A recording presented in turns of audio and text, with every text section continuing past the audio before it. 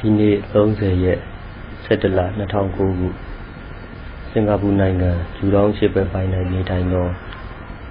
ဥတည်မောင်မောင်တန်ဒေါ်ဆွေဆွေအောင်တို့၏နေအိမ်တရားပွဲ၌မြတ်စွာဘုရားကလူသားများအသိစေခြင်းသောကျွမြောက်ရေးငြိမ်းချမ်းရေးချမ်းသာရေးတရားတော်ထိုတရားတော်များကိုမနာကြမီမြတ်စွာဘုရားရှင်အားနမောတတ္တသုံးကြိမ်ဖြင့်ညီညာပြပြကြောကြရအောင်နမောတတ္တ ဘဂဝါတောအရဟတောသမ္မာသမ္ဗုဒ္ဓတ္တနမောတတ္တဘဂဝါတောအရဟတောသမ္မာသမ္ဗုဒ္ဓတ္တနမောတတ္တဘဂဝါတောအရဟတောသမ္မာသမ္ဗုဒ္ဓတ္တဒီနေ့ရတော့ကမြတ်စွာဘုရားရဲ့တရားတော်တွေဒီငြိမ်းချမ်းရေးအတွက်အဓိကဥတည်ပြီးတော့ဟောတယ် ငြိမ်းချမ်းမှုမှာအဆုံးသတ်ငြိမ်းချမ်းခြင်းဆိုတာကတော့နိဗ္ဗာန်ပဲနိဗ္ဗာန်ဒီသဘာဝအဖြစ်တည်တတ်တဲ့သဘာဝရှိလို့မသေးတဲ့သဘာဝအမြဲတမ်းရှင်သန်နေတယ်ဆိုတဲ့သဘာဝပုဂ္ဂိုလ်တ attva အနေနဲ့ရှင်တာမဟုတ်ပဲနဲ့သဘာဝတရားကြီးတစ်ခုအနေနဲ့သဘောတရားတစ်ခုအနေနဲ့ရှင်သန်နေခြင်းဆိုတာ အဲ့ဒါလို့ရှင်ပုံကိုလည်းပဲမြတ်စွာဘုရားဟောတဲ့တရားတော်တွေအရဒါနမှုကြောင့်ပြစ္ဆုတ်ပံမှာဘလို့ရှင်သန်ကြလဲနောက်နာဂတ်မှာရော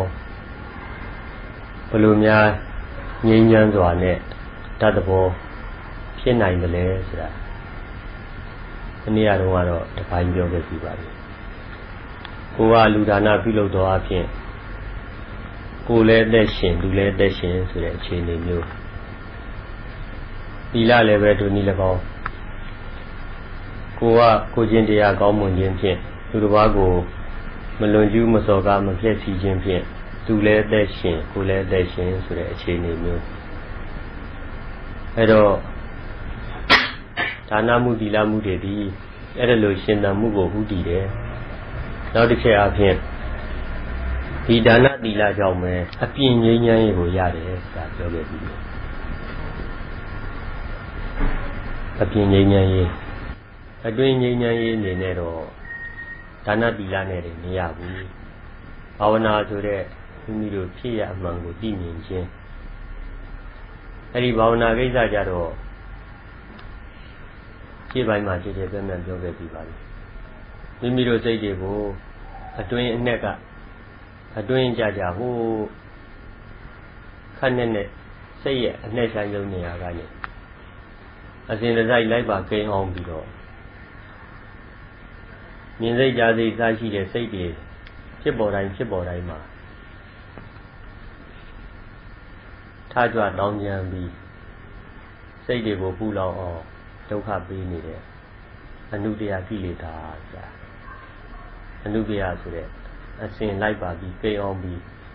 မိမိတို့စိတ်တွေကိုမငြိမ်းမချမ်းဖြစ်အောင်ပြုလုပ်နေတဲ့သဘောတရားဒါလေးလည်းပဲဥပမာတွေနဲ့ထုတ်ပြောခဲ့ပြီးပြီအဲ့ဒါလို့စိတ်ကိုပူလောင်အောင်လှုပ်ရှားအောင်ဖန်တီးနေတဲ့မိမိတို့ရဲ့စိတ်အနဲ့ချမ်းဆုံးနေရာမှာကိန်းအောင်နေတော့ဒီနုတ္တယဆိုတဲ့ဓာတ်သဘောဒါကိုဖယ်နိုင်တော့မှသာအတွင်းငြိမ်းချမ်းရေးကိုရမယ် အတွင်းဆိုတဲ့စိတ်မိမိတို့ရဲ့စိတ်ဓာတ်တွေမှာငြိမ်းချမ်းရေးကိုရအဲ့ဒါလိုငြိမ်းချမ်းရေးကိုရဖို့အတွက်အတွင်းငြိမ်းချမ်းဖို့အတွက်ဘာကိုနားလည်မှငြိမ်းချမ်းမလဲဆိုတော့အကြောင်းကျိုးဖြစ်စဉ်ဒီနုတရားတွေထဲမှာပထမဦးဆုံးပဲနုတရားကိုပယ်ဖို့လိုတယ်လဲဆိုတာအနည်းကပြောခဲ့ပြီးပါပြီအယူမှားလို့ခေါ်တဲ့ အမှားဖြင့်စွဲပြီးစိတ်ထဲမှာအတွင်းကြကြကနေပြီးဒုက္ခပေးနေတဲ့ပါဠိလိုပြောရင်ဒိဋ္ဌာလူတရားအမြင်မှားပေါ့အယူမှားအဲ့ဒါအရင်ဆုံးရှင်းရကျန်တဲ့ကာမရကနုတ္တိယဆိုတဲ့ပစ္စည်းဥစ္စာတွေကိုလူကျင်တတ်မဲ့တဲ့စိတ်ဖြစ်ပေါ်အောင်လုံးစော်ပေးတဲ့သဘောတရားဒါကပြုံးနေပဲလို့မလွယ်ဘူး ပရိက္ခဏုတ္တိယလို့ခေါ်တဲ့ဒေါသသူ့လည်းပဲပြုံးနေပဲလို့မလွယ်ဘူးအမှန်ကိုအမှန်တိုင်းမသိတဲ့အဝိဇ္ဇာနုတရားအမှားကိုအမှန်လို့သိနေတဲ့အဝိဇ္ဇာနုတရားဒါလေပယ်ဖို့မလွယ်ဘူးစစချင်းပယ်ဖို့မလွယ်ဒီတော့စစချင်းမိမိတို့စိတ်တွေကိုရောက်ရခတ်အောင်ပြုလုပ်နေသောအနုတရားဒီကိလေသာကို တစားစီတစားစီဖယ်ရှင်းဖို့အတွက်ဘယ်ကစမလဲဆိုတော့အယူမဒိဋ္ဌိနဲ့ယုံမတန်တရားဝိသိကိစ္စအဲ့ဒီအနုတရားတန်နှစ်ခုကိုအဲ့ဒီသဘောတရားနှစ်ခုကိုအရင်ဆုံးပယ်ရမယ်သူတို့ကိုပယ်ဖို့အတွက်ဘာလို့တလဲဆိုတော့အကြောင်းကျိုးဖြစ်စဉ်ကိုနားလည်ဖို့လိုတယ်အဲ့တော့အကြောင်းကျိုးဖြစ်စဉ်ကိုနားလည်ဖို့ရန်အတွက်မနေ့ကစပြီးတော့မြတ်စွာဘုရားဒီအကြောင်းကျိုးဖြစ်စဉ်ကိုနားလည်လာတဲ့ပုံစံကို တရားတွေသိမြင်လာခဲ့တဲ့အခြေအနေကိုမနေ့ကစပြီးခဲ့ပြီးပါပြီပြီးတော့အဲ့ဒီအစလေးကိုပြန်ဖော်မယ်ဆိုရင်မြတ်စွာဘုရားကဆုံလာပြည့်နေ့ညမှာမဟာတက္ကတိ103ခုနှစ်ကဆုံလာပြည့်နေ့ညမှာနေရင်ဒရာမြစ်ကံဘီပုရုဝေလာကတ္တပတော်ရဲ့အစွန်နေရင်ဒရာမြစ်ကံဘီဟောဒီပင်အောက်ညရှိစုပ်ကိုကျဲဖြန့်ပြီးအဲ့ဒီပုံမှာထိုင်ထိုင်ပြီးတော့ အဋိဌံပြုစိတ်စိတ်ကိုဝိရိယဓိပတိသန္တာဓိပတိသန္တာကျိုးစားအထုတ်ခြင်းဝိရိယအဲ့ဒါကိုအကြည့်မှုထားပြီးတော့ဘုရားမဖြစ်မချင်းဒီနေရာကမထားတော့ဘူးလို့အဲ့ဒီမှာဆုံးဖြတ်ချက်ချအဲ့လိုဆုံးဖြတ်ချက်ချပြီးတော့အဲ့ဒီလိုထိုင်နေတဲ့အခါပထမဦးဆုံး ကြံ့လွင့်နေတဲ့စိတ်တွေကိုတည်ငြိမ်အောင်ဇံဝင်စားပါတယ်။ဟိုတုန်းကခြားခြားမှလေးလာလိုက်စားခဲ့ဘူးတဲ့သမထလမ်းစဉ်လို့ခေါ်တဲ့ဇံဝင်စားခြင်းအမှုကိုပြု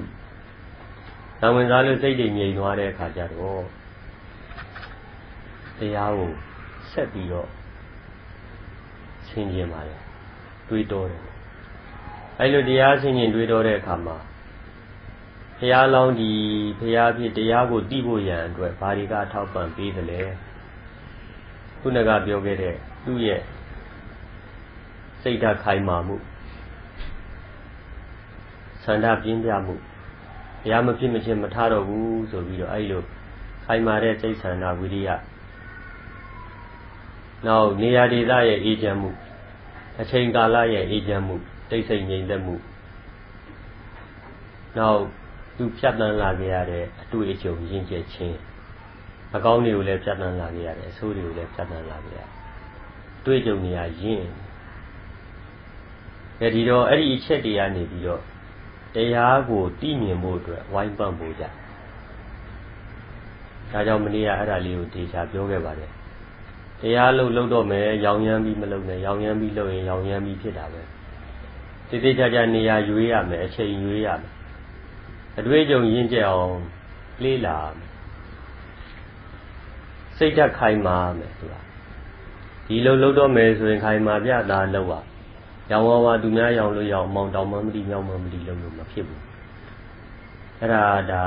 လောကုတ္တရာကိစ္စပဲဖြစ်ဖြစ်လောကီကိစ္စပဲဖြစ်ဖြစ်ဒီတိုင်းပဲအောင်မြင်ခြင်းနဲ့ဒီအလုပ်ကိုဖြစ်မြောက်ခြင်းနဲ့ဆိုရင်အဲ့ဒါတွေရွေးရပါတယ်အဲ့ဒါတွေမရွေးပဲလုပ်နေလို့ကတော့အချိန်ကုန်လူပန်းပြီး လူရင်းအကျိုးကိုမရဘူးတော့မဟုတ်ဘူးရတော့ရမယ်သိကြသွားလိမ့်အခုဒီဖရာတရားကိုတည်တဲ့ဖြစ်စဉ်မှာကိုကသူ့ရဲ့သင်္ကန်းစာကိုယူပြီးတော့မနေ့ကပြောခဲ့သလိုသူ့အမွေကိုယူပြီးကိုကအလင်းမြန်ရအောင်ကြိုးစားကိုကိုယ်တိုင်ဓာတွေကိုဒီတရားတွေကိုဖရာတည်တယ်လို့ဇပုတ်တကယ်ရှာဖွေစရာမလိုဘူးဖရာပေးထားတဲ့အမွေလေးလက်ခံယူပြီးကိုဖေရတတိ တတိကွယ်လွန်သွားတဲ့အခါလူပေးခဲ့တဲ့အမွေယူပြီးကိုကတတိဖြစ်တဲ့နေုံပဲအဲ့လောက်တော့လွယ်တဲ့ကိစ္စအထက်လက်ပြည့်စုံရင်ဖြစ်နိုင်တဲ့ကိစ္စအဲ့ဒါလေးသဘောပေါက်ပြီးတော့မိမိတို့တရားကိုသိဖို့အတွက်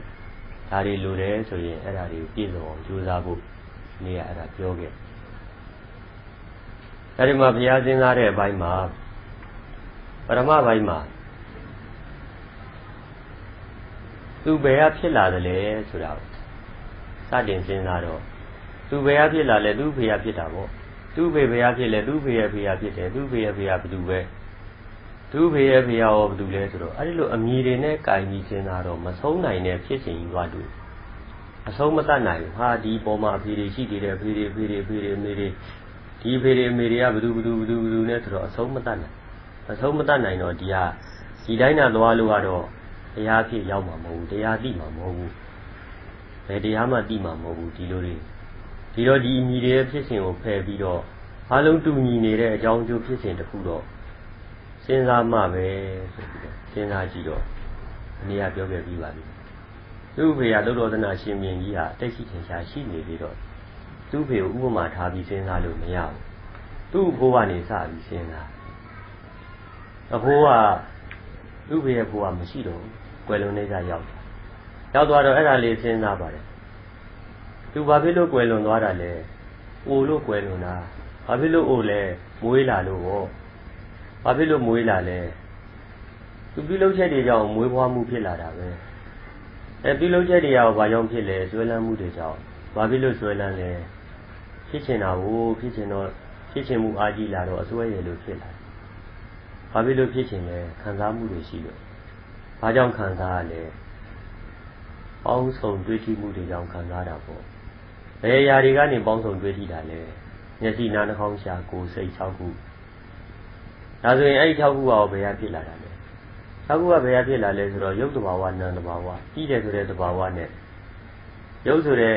ဟောက်ပြန်ပြည့်စည်တဲ့တဘာဝအဲ့ဒီမှာမှတိမှုဆိုတဲ့တဘာဝဒီနှစ်ခုကြောင့်ဒီနှစ်ခုကိုပဲမျက်စိနားနှာခေါင်းရှာကိုယ်စိတ်လို့ခေါ်တာပဲဒါဆိုရင် ဒီယုံနာရောဘယ်ကလာလဲယုံနာဘယ်ကလာလဲဆိုတော့တိမှုဆိုတဲ့ဘဝဆဆချင်းတိမှုဆိုတဲ့ဝိညာဉ်လေးရှိလို့ဒါ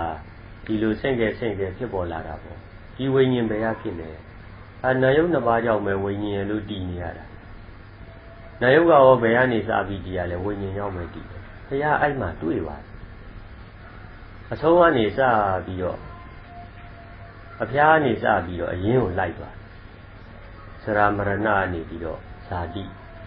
ဇာတိကနေကံကံကနေဥပါဒံဥပါဒံကနေတဏှာတဏှာကနေဝေဒနာဝေဒနာကနေဖတာဖတာကနေအာယရဏ6ခုအာယရဏ6ခုကနာယုတ်နာယုတ်ကနေဝိညာဉ်ဆိုပြီးအဲ့ဒါကိုခေါက်တော့ခေါက်ပြန်သူစဉ်းစားစဉ်းစားတော့လူတယောက်ကြည့်လဲသူ့အဖိုးကြည့်လဲဒါပဲရှိအဖိုးရဲ့ဖေကြည့်တော့လဲဒါပဲတွေ့အဲ့ဒါမှပေါ်သွားတယ်။ဩအမိတွေဆိုတာအလကားပါပဲခေါ်လို့ပြောလို့ရရုံပဲသဘောတရားအပြင်ကြည့်ရင် ဒီအကြောင်းကျိုးဖြစ်စဉ်ကြီးပဲလူတယောက်လာလဲဒီအကြောင်းကျိုးဖြစ်စဉ်နောက်တယောက်လာလဲဒီအကြောင်းကျိုးဖြစ်စဉ်အဲ့ဒါမှဆုံးသတ်သွားတာကိုတွေ့ရတယ်။အဲဒီနေရာမှာစဉ်းစားကြည့်တာအမိတွေနဲ့တော့အဆုံးသတ်နိုင်လားမတတ်နိုင်ဘူး။အမိတွေနဲ့ကင်ပြီးစဉ်းစားမယ်ဆိုရင်ဖြစ်စဉ်ကဘယ်တော့မှအဆုံးမတတ်နိုင်ဘူး။အမိပဲပြီးအကြောင်းကျိုးအနေနဲ့စဉ်းစားလိုက်တော့လူတယောက်လာလဲတာပဲ။နှစ်ယောက်လာလဲတာသုံးယောက်လာလဲတာပဲ။အဆုံးသတ်သလားမတတ်ဘူးလား။ တတ်သွားတယ်အကြောင်းကျိုးဆုံးသတ်အဲ့ဒီမှာဘာမှမထူးဘူးဆိုတာကြီးသွားတွေ့အဲ့ဒီမှာဘုရားအတိညာတစ်ချက်ရပါတယ်အဲ့ဒီသိတဲ့အတိညာကိုပါဠိလိုပြောရင်ပုပ္ပေနိဝါဒနုတ်တိညာလို့ခေါ်တယ်ပုပ္ပေရှိတုန်းကနိဝါဒနေခဲ့ရတဲ့အရာတွေကိုအနုတ္တိအောင်းမေ့စဉ်းစားရင်းနဲ့ပေါ်လာတော့ညာတကယ်စာပေထဲမှာတည်မြင်ရတာကဘုရားဒီ ညရဲ့ပထမဦးဆုံးပိုင်းဤရမှာဥပ္ပေနိဝါဒနုဒ္တိဉာဏ်လို့ခေါ်တဲ့ရှေးဘဝဖြစ်စဉ်တွေကိုသူသိမြင်ခဲ့တယ်။အာသူဖေယဘသူပဲသူဖေယဖေယဘသူပဲသူဘဝဘသူပဲသူဘောအဘိုးတွေအဘိုးတွေကဘသူတွေပဲဆိုပြီးတော့အဲ့ဒါလို့ရှေးဘဝဖြစ်စဉ်တွေကိုသိမြင်ခဲ့တယ်တဲ့။အဲ့ဒါနဲ့တည်းပဲစာတွေကပြီးသွား။အမှန်တကယ်ဖေယသိမြင်တာကညရဲ့ပထမဦးဆုံးပိုင်းဤရမှာ ဝိညာဏပြည့်စရာနာမရူပနာမရူပပြည့်စရာသလာယနာသလာယနာပြည့်စရာဖတ်တော်ဆိုပြိဿသမုပ္ပါအလျော်အဖြစ်အကြောင်းကျိုးအဲ့ဒီဖြစ်စဉ်ကြီးကိုသဘောပေါက်သွားတာဘာကိုဖယ်တော့မှသိလဲဆိုတော့အမိတွေကိုဖယ်တော့မှသိဒါကြောင့်မနေ့ကပြောခဲ့ပြီအမိတွေဆိုတာဒါတွေကိုမှတ်ထားရင်အဆုံးလည်းမတတ်နိုင်ဘူးအစမရှိဆုံးမရှိတဲ့ဟာပြက်လည်းမပြက်ဘူးဒီမိဟာကိုယ်သာတေသွားတယ် အခုရှေ့ရကွယ်လွန်နေကရောက်သွားတဲ့ပုံကိုယ်တွေရှိပါတယ်အများကြီးပဲကောင်းတဲ့ပုံကိုယ်တွေရောမကောင်းတဲ့ပုံကိုယ်တွေရောသူတို့အမိတွေကမပြက်ပါဘူးကြံခဲ့ကလုံးစောတို့ဘုရားအောင်ဆန်းတို့အမိတွေအကုန်ကြံခဲ့တယ်အကောင်းရောဆိုတော့အမိရမပြတ်ဘူးဘယ်ကစလို့စတယ်ဆိုတာလဲအမိနဲ့ကြိုင်ရရင်ဆုံးမတတ်နိုင်ဘူးဒီဒီကြားထဲအမိဆိုတာကအာသူကကောင်းတယ်သူကမကောင်းဘူးဆိုပြီးတော့ခွဲခြားမှုကိုလည်းဖြစ်စေတယ်ဒီတော့မိမိတို့စိတ်တွေပူလောင်အောင်စိတ်တွေကိုအဆုံးမတတ်နိုင်တော့အောင် ဒီအမိတွေကပဲဖန်ပြီးတာဒီတော့ဒီအမိဆိုတာအပြောအချင်းတော့ပြောရမှာပဲမပြောလို့တော့မရဘူးဒါပေမဲ့အပြောအချင်းဒီအပြောနဲ့တင်ကိစ္စပြီးနေရင်ဘယ်မှမရောက်ဘူးအဆုံးလည်းမတတ်နိုင်ဘူးကောင်းတယ်ဆိုတယ်ဆိုတဲ့ခွဲခြားမှုတွေလည်းဖြစ်မယ်တကယ်အမိဆိုတာလည်းတကယ်ရှိတာမဟုတ်ဘူးအခုတစ်မျိုးတော့ကြတစ်မျိုးပြောင်းပေးလို့ရတယ်အမှန်တကယ်လည်းရှိတာမဟုတ်ဒါအမိရဲ့အဖြစ်တွေကိုမြင်အောင်ကြည့်ဆိုပြီးတော့မနေ့ကပြောခဲ့ ဒီအမိတွေကိုဖယ်လိုက်ရင်ဘာပေါ်လာမလဲသဘောတရားဖြစ်စဉ်ပေါ်လာမယ်လူကြည့်ကြည့်ခွေးကြောင်ကျက်ငယ်တိရစ္ဆာန်ကြည့်ကြည့်အကြောင်းအကျိုးဖြစ်စဉ်မှာသွားကြည့်ခွေးလေးတစ်ကောင်သွားကြည့်တတင်ဖြစ်ပေါ်ပြီးကွယ်လွန်နှိမ့်ဆရောက်သွားတဲ့ခွေးတစ်ကောင်ကိုကြည့်ကြည့်လည်းပဲခွေးလည်းပဲဘယ်မှာဆုံးတတ်လဲအိုမှုတေမှုမှာဆုံးတတ်ဘာကြောင့်အိုလဲမွေးလာလို့အိုဘာလို့မွေးလဲခွေးလဲအကြောင်းနေလောက်ခဲ့လို့အိုတာပေါ့အကြောင်းနေလောက်ခဲ့လို့မွေးတာပေါ့ ဒီအကြောင်းကဘာကြောင့်ဘာကြောင့်ဖြစ်တာလဲဒီပြုလုပ်ချက်ကဘာကြောင့်ဖြစ်တာလဲသူခွေးဘဝဖြစ်ခြင်းပါတယ်ဆိုတဲ့ဆွဲလန်းတဲ့စိတ်ကြောင့်ပေါ့ခွေးချင်းခွေးချမ်းကြံလို့အဲ့တော့ဒီဆွဲလန်းတာဘာဖြစ်လဲခွေးဘဝသူဖြစ်ခြင်းတယ်ဆိုတဲ့ตาယာမှုအဲ့ဒီကိုဥတည်နေတဲ့သဘောကြမှုကြောင့်ဘာဖြစ်လို့သဘောကြလဲခံစားမှုရှိလို့ဘာဖြစ်လို့ခံစားလဲတွေးထိရလို့တွေးထိမှုဘာကြောင့်ဖြစ်လဲသူ့မှာပါတဲ့အဲ့ဒီတွေးထိဖို့ရန်အတွက်မျက်စိနားနှာခေါင်းရှာကိုယ်စိတ်၆ခု ရှိနေလို့ပေါ့ဒါဘယ်ဖြစ်စဉ်ပဲကြည့်ကြည့်ဒီတိုင်းမှတွေ့အဲ့ဒါဘုရားညရဲ့ပထမဥပိုင်းညမှာတွေ့ဘုရားတွေ့ပုံကကိုယ်လည်းသိနိုင်တာပဲဒီကြစဉ်းစားကြည့်ဘုရားကဒါမျိုးသူသိခဲ့တယ်ဆိုတာပြောခဲ့ပြီးပြောခဲ့တော့ဒါလေးကိုကိုယ်လည်းပဲတွေးလိုက်တာနဲ့သိရှုပ်နေတဲ့အရှုပ်ကြီးကိုရှင်းအောင်ဘုရားကဘာဥပမာနဲ့ထားပြီးတော့ပြိဿသမုပ္ပါရှေ့ပိုင်းကိုတီးခဲ့လေ ပုဂ္ဂိုလ်တ attva ဆိုတဲ့အမိပြောက်ပြီးသဘောတရားကြီးပေါ်အောင်တီးခဲ့လေဆိုတော့နွယ်ပင်ကိုရှာတဲ့မိနဲ့ဥပမာနွယ်ပင်တပင်အဖျားကနေကိုင်းပြီးတော့အရင်ကိုလိုက်ရှာတဲ့ဥပမာနဲ့သူကသဘောပေါက်တယ်နွယ်ပင်နေဆိုတာတွေ့ရပါတယ်တစ်ပင်တွေမှာခြုံနွယ်ပိတ်ပေါင်းနေထူနေတဲ့နေရာမှာနွယ်ပင်တွေပင်တွေ့ပြီဆိုကြပါလို့တွေ့တော့တစ်ပင်တွေကအောက်ခြေမှာတအားရှုပ်တာခြုံနွယ်ပိတ်ပေါင်းဆိုတော့အောက်မှာရှုပ် အောက်မှာရှုပ်နေတော့အရင်ပိုင်းကိုအဖျားပိုင်းကိုအရင်ပိုင်းကိုမတွေ့ရအဖျားပိုင်းတော့တွေ့ရအညွန့်လေးတလူလူနဲ့တက်ဒီတော့အရင်ကိုမြင်ချင်ရင်ဘယ်ကကင်လိုက်ရအဖျားနေခိုင်းရအဖျားလေးကိုဆွဲချဆွဲချပြီးအဲ့ဒီဖျားနေတစားတစားကင်ပြီးလိုက်သွားရဲ့နောက်ဆုံးအရင်အမြစ်ကိုတွေ့တာဘုရားကအဲ့ဒီနီးကိုသုံးလိုက်တာနွယ်ပင်ပင်ရဲ့အရင်မြစ်ကိုရှာတဲ့နီးလိုပဲဘဝတစ်ခုရဲ့အကြောင်းအကျိုးဖြစ်စဉ်ကိုကြည့်လိုက်တဲ့အခါမှာသေမှုကနေသွားကြည့်သေမှုကအဖျားပဲ သေမှုမှာအဆုံးတတ်သွားတော့ဒါအဖျားပိုင်းသေမှုကနေကင်လိုက်တယ်ဘာလို့သေလဲအိုလို့သေတယ်ဘာလို့အိုလဲမွေးလာလို့အိုတာဘာဖြစ်လို့မွေးတာလဲပြုလုပ်ချက်တွေကြောင့်မွေးတာပေါ့ဘဝကနေပေါ်လာတာဘယ်သူမှမရှိဘူးအတိတ်ကံပြစ္ဆုတ်ပံမိဘနှစ်ပါးဒါကြောင့်ဘဝရဲ့ဆိုပြီးတော့ပြုလုပ်ချက်တွေနဲ့ပေါ်လာတယ်ဒီအတိတ်ကကံဆိုတဲ့သဘောတရားကပေါ့ဘာဖြစ်လို့ဒီလိုကံဆိုတဲ့အပြောဆိုပြုမှုပြုလုပ်ချက်တွေဖြစ်ပေါ်ရလဲ အဲ့ဒါအပြောဆိုပြုမှုပြုလုပ်ချက်တွေဟာအစွဲနဲ့လုပ်နေကြတာကြီးပဲခုနပြောသလိုကိုကြံမိကြံရကြံတာပေါ့အစွဲတွေကြောင့်တွေးမိတွေးရတွေးပြောမိပြောရပြောလုံးမိလုံးရလုံးဒီအစွဲတွေကဘယ်ကလာလဲသူ့ခြေနဲ့နှစ်သက်သာယာမှုတွေကြောင့်အဲ့ဒီကနေတိုးလာတဲ့အခါအစွဲဖြစ်အဲဒါဖြစ်စဉ်မဲ့အခုပြောခဲ့တာနှစ်ခေါက်သုံးခေါက်ရှိသွားအဲ့ဒါမြတ်စွာဘုရားတည်သွားတဲ့အခြေအနေ ဒီသဘောတရားအကြောင်းကျိုးကိုတည်ဖို့အတွက်ဘာကိုဖယ်ထုတ်ရလဲအမိကိုဖယ်ထုတ်ရသူကဘယ်သူပဲဘယ်ဝါပဲဘာကြီးပဲညာကြီးပဲလုံးနေလို့ကတော့ဘယ်သောအခါမှအကြောင်းကျိုးဖြစ်စဉ်မရအခုအဲ့ဒါမှလူတွေဒုက္ခရောက်နေတာအဲ့ဒါတရားနဲ့တရားတွေ့တွေက तू ကပါပဲ तू ကဘယ်လိုခြေနေရှိတာပဲ तू ကတော့သူတော်ကောင်း तू ကသူယုံမှာ तू ကတော့ဘာကုန်ရှိတယ် तू ကတော့ဘယ်လိုခြေနေအာအများကြီးလျှောက်ပြီးအဲ့ဒါနဲ့ပဲစဉ်းစားလိုက်တော့ဆုံးလည်းမဆုံးနိုင်ဘူး ဒီသတ်မှတ်ထားတဲ့အမိတွေကတကယ်လည်းမဟုတ်ခဏလေးတဘဝစာခေါ်လို့ပြောရရုံနဲ့ပျောက်သလားဆိုတော့ပျောက်လည်းမပျောက်တဲ့ဟာကြီးအဆုံးလည်းမတတ်နိုင်ဒီကြားထဲမိမိတို့စိတ်ကိုပင်ပန်းစေသေးတယ်အကောင်းဆုံးကိုဖြစ်စေသေးတယ်ဒီအမိကဒီတော့ဒီလောက်တောင်ပြည့်ချက်ရှိနေတဲ့အမိကိုဖယ်လိုက်တော့မှမိမိတို့ငြိမ်းချမ်းမှာပေါ့ဘုရားကအဲ့လိုငြိမ်းချမ်းရေးရသူပထမပိုင်းမှာအမိတွေကိုဖယ်လိုက်တော့ကြောင်းကျိုးဖြစ်စဉ်သွားတွေ့ကြောင်းကျိုးဖြစ်စဉ်သွားတွေ့တော့ လူလာလဲဒါပဲခွေးလာလဲဒါပဲကြောင်ကျက်နဲ့လာလဲတာအဖေလာလဲတာအမေလာလဲတာအလုံးတပြေးညီမှန်နေတဲ့သဘောတရားအကြောင်းကျိုးဖြစ်စဉ်ကိုသူသိသွားတာသိသွားတော့စိတ်ထဲအပူတွေငြိမ်းသွားတာပေါ့အပူတွေငြိမ်းသွားတယ်အပူတွေငြိမ်းတယ်လို့ပြောလို့မရအပူဆိုတော့အေးတယ်လို့ပြောတယ်အပူတွေအေးသွားတယ်ဒါလေးတွေကဆုပ်ကင်ထားမိမိတို့ရင်ထဲမှာအပူရယ်လို့ဖြစ်လာရင်အမိကြောင့်ဖြစ်တာ သားသမီးကြောင့်ပူရတယ်ဆိုတာသားသမီးဆိုတဲ့အမိယာကိုယ့်ရင်ထဲမှာစွဲနေအမိဖဲလိုက်သူ့မှာအကြောင်းကျိုးဖြစ်စဉ်ကြည့်ရင်ပြိဿသမုပ္ပါအကြောင်းကျိုးဖြစ်စဉ်ညာဖြစ်ပေါ်နေတဲ့သဘောတရားအစုဝေးလေးတစ်ခုပဲဘယ်မှာဆုံးတတ်မလဲမရဏမှာဆုံးတတ်ဘယ်ကနေစလဲဝိညာဉ်ကနေစဒါပဲအဲ့ဒါလိုတာထိုးပြီးတဘာဝကိုကြည့်လိုက်သားသမီးဆိုတာပျောက်သွားလိမ့်မယ်အမိဆိုတာပျောက်သွားလိမ့်မယ်အမိပျောက်တာနဲ့တပြိုင်နက်သူတို့အတွက်ပူစရာလည်းမလိုတော့ဘူး ဝမ်းသာစရာလည်းမလိုတော့ဘူးရှင်းတဲ့နှစ်သက်ဂုဏ်ယူစရာလည်းမရှိတော့အဲ့တော့မိမိတို့ရင်ထဲမှာအေးသွားတယ်မပူရတော့ဘူးသူကသူကောင်းနေလည်းပဲပူစရာမလိုတော့ပူလည်းမပူတော့ဆိုးနေလည်းပဲမပူတော့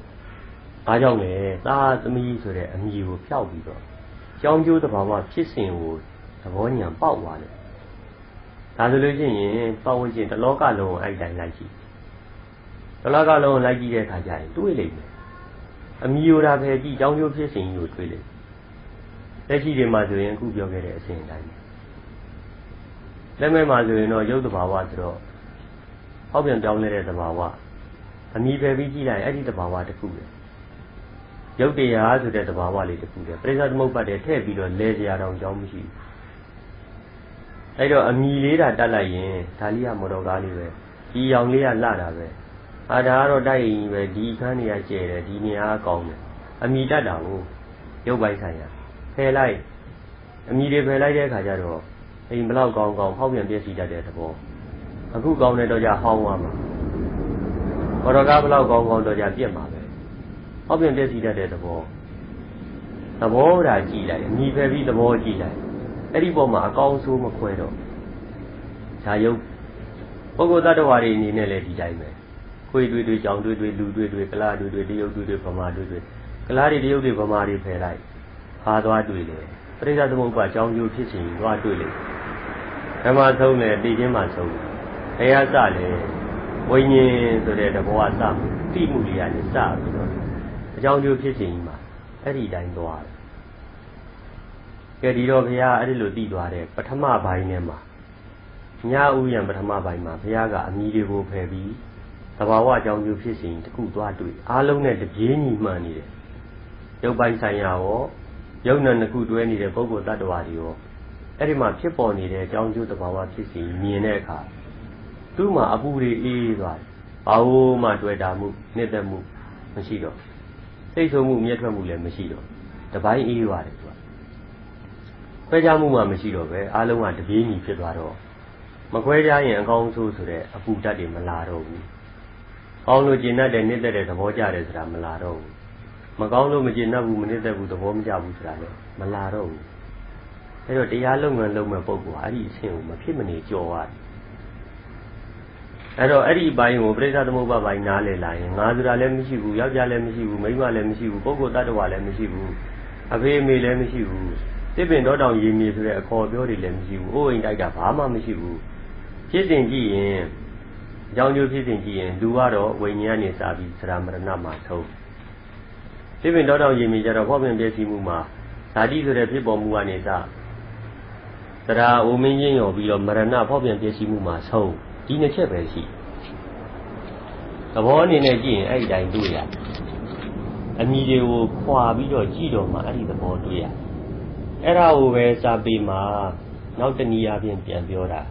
ဒီလိုသိသွားတဲ့ပုံကိုယ်ကိုနာမရူပပြိစေတာဉာဏ်တဲ့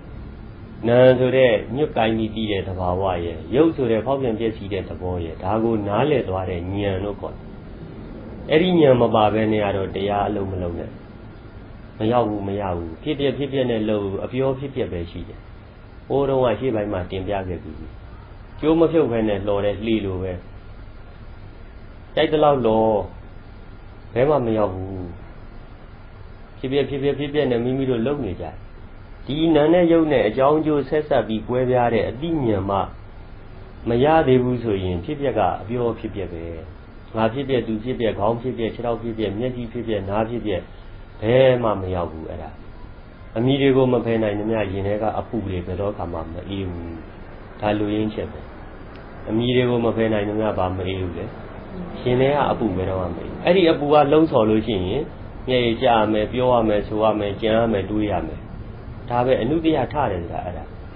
အဲ့ဒါအနုတ္တိယဒိဋ္ဌာနုတ္တိယလို့ခေါ်တယ်အယူမားနဲ့ဆွဲထားတာအညီဆိုတာကအပြောပဲမှန်တာသဘောမှန်တာမဟုတ်ဘူးတချမ်းတော့မှန်တယ်သူအပြည့်မှန်တာမဟုတ်ဘူးတချမ်းဆိုတာလောကမှာဒီအမိရမပြောလို့လည်းမရဘူးသားသားလို့ခေါ်ရမှာပဲသမီးသမီးလို့ခေါ်ရမှာပဲဘာပြည့်စည်ဆိုဘာပြည့်စည်လို့ပြောရမှာပဲဘ누구ဟာလဲငါဟာလို့တော့ပြောရမှာပဲအပြောတော့မှန်တယ်သဘောအချင်းတော့ မှတ်မထားနဲ့သဘောအချင်းမှတ်ထားရင်အပြောကိုသဘောတိုင်းမှတ်ထားရင်အဲ့မှာမှားသွားတယ်ခေါ်တာအပြောကိစ္စမရှိစိတ်ထဲကတကယ်ထင်မှဒိဋ္ဌိဆိုတဲ့စကားလေးမှတ်တာအပြောကကိစ္စမရှိဘူးပြောရတယ်ယောက်ျားတွေယောက်ျားတိုင်းပြောမိန်းမတွေမိန်းမလိုပဲပြောအပြောကိစ္စမရှိစိတ်ထဲကတကယ်ထင်တော့ဒိဋ္ဌိအယူမှာဒိဋ္ဌာနုတ္တယအဲ့ဒါရင်ထဲမှာလူတိုင်းကအဲ့ဒါတွေ့နေတာတွေ့လိုက်တဲ့တပြိုင်နဲ့ခေါ်တယ်ပြောတယ် ခေါ်ပြောစိတ်ထဲကလည်းမှတ်ပြီးသားပဲသူကတော့ဘယ်သူပဲဘယ်ဝါပဲဘာကြီးပဲဟဲ့ယောက်ျားပဲမိန်းမပဲငါနဲ့ဆင်ပြေတာမပြေတာပဲအာတောင်းလျှောက်တတိလိုက်သွားဘယ်သူကဖန်ပြီးလဲဒိဋ္ဌာနုတ္တယအယူမှာဖန်ပြီးဒီအယူမှာဘာနေဖြစ်ပေါ်စေလဲအမိရနေဖြစ်ပေါ်စေတာအမိရတာဖယ်လိုက်အဲ့ဒီအယူမှာပြောက်ပထမချင်းဒီအချင်းမကြော်ပဲနေလို့မရဒီအချင်းကိုမမြင်ပဲနေလို့မရဒီအချင်းကိုမမြင်ပဲနဲ့လှုပ်တဲ့အလုံးမှလည်းဘယ်မှမရောက်ဘူးလို့မှ ဖះကပြိဿသမုပ္ပါကိုအလကားဟောခဲ့တာမဟုတ်ဒီပြိဿသမုပ္ပါဒေသနာတော်ဆိုတာသူ့ကိုဖះအဖြစ်ထိရောက်အောင်တော့ပို့ပေးတဲ့တရားအလွန်တရာမှလေးနဲ့ကြီးကျယ်မြင့်မြတ်တဲ့တရားအဲ့ဒါကိုအလုံးစင်မှာပြည့်စုံရမယ့်အချက်နဲ့ပြန်ချပြတော့မဂ္ဂင်၈ပါးအနေနဲ့ပုံစံပြန်ပြတာ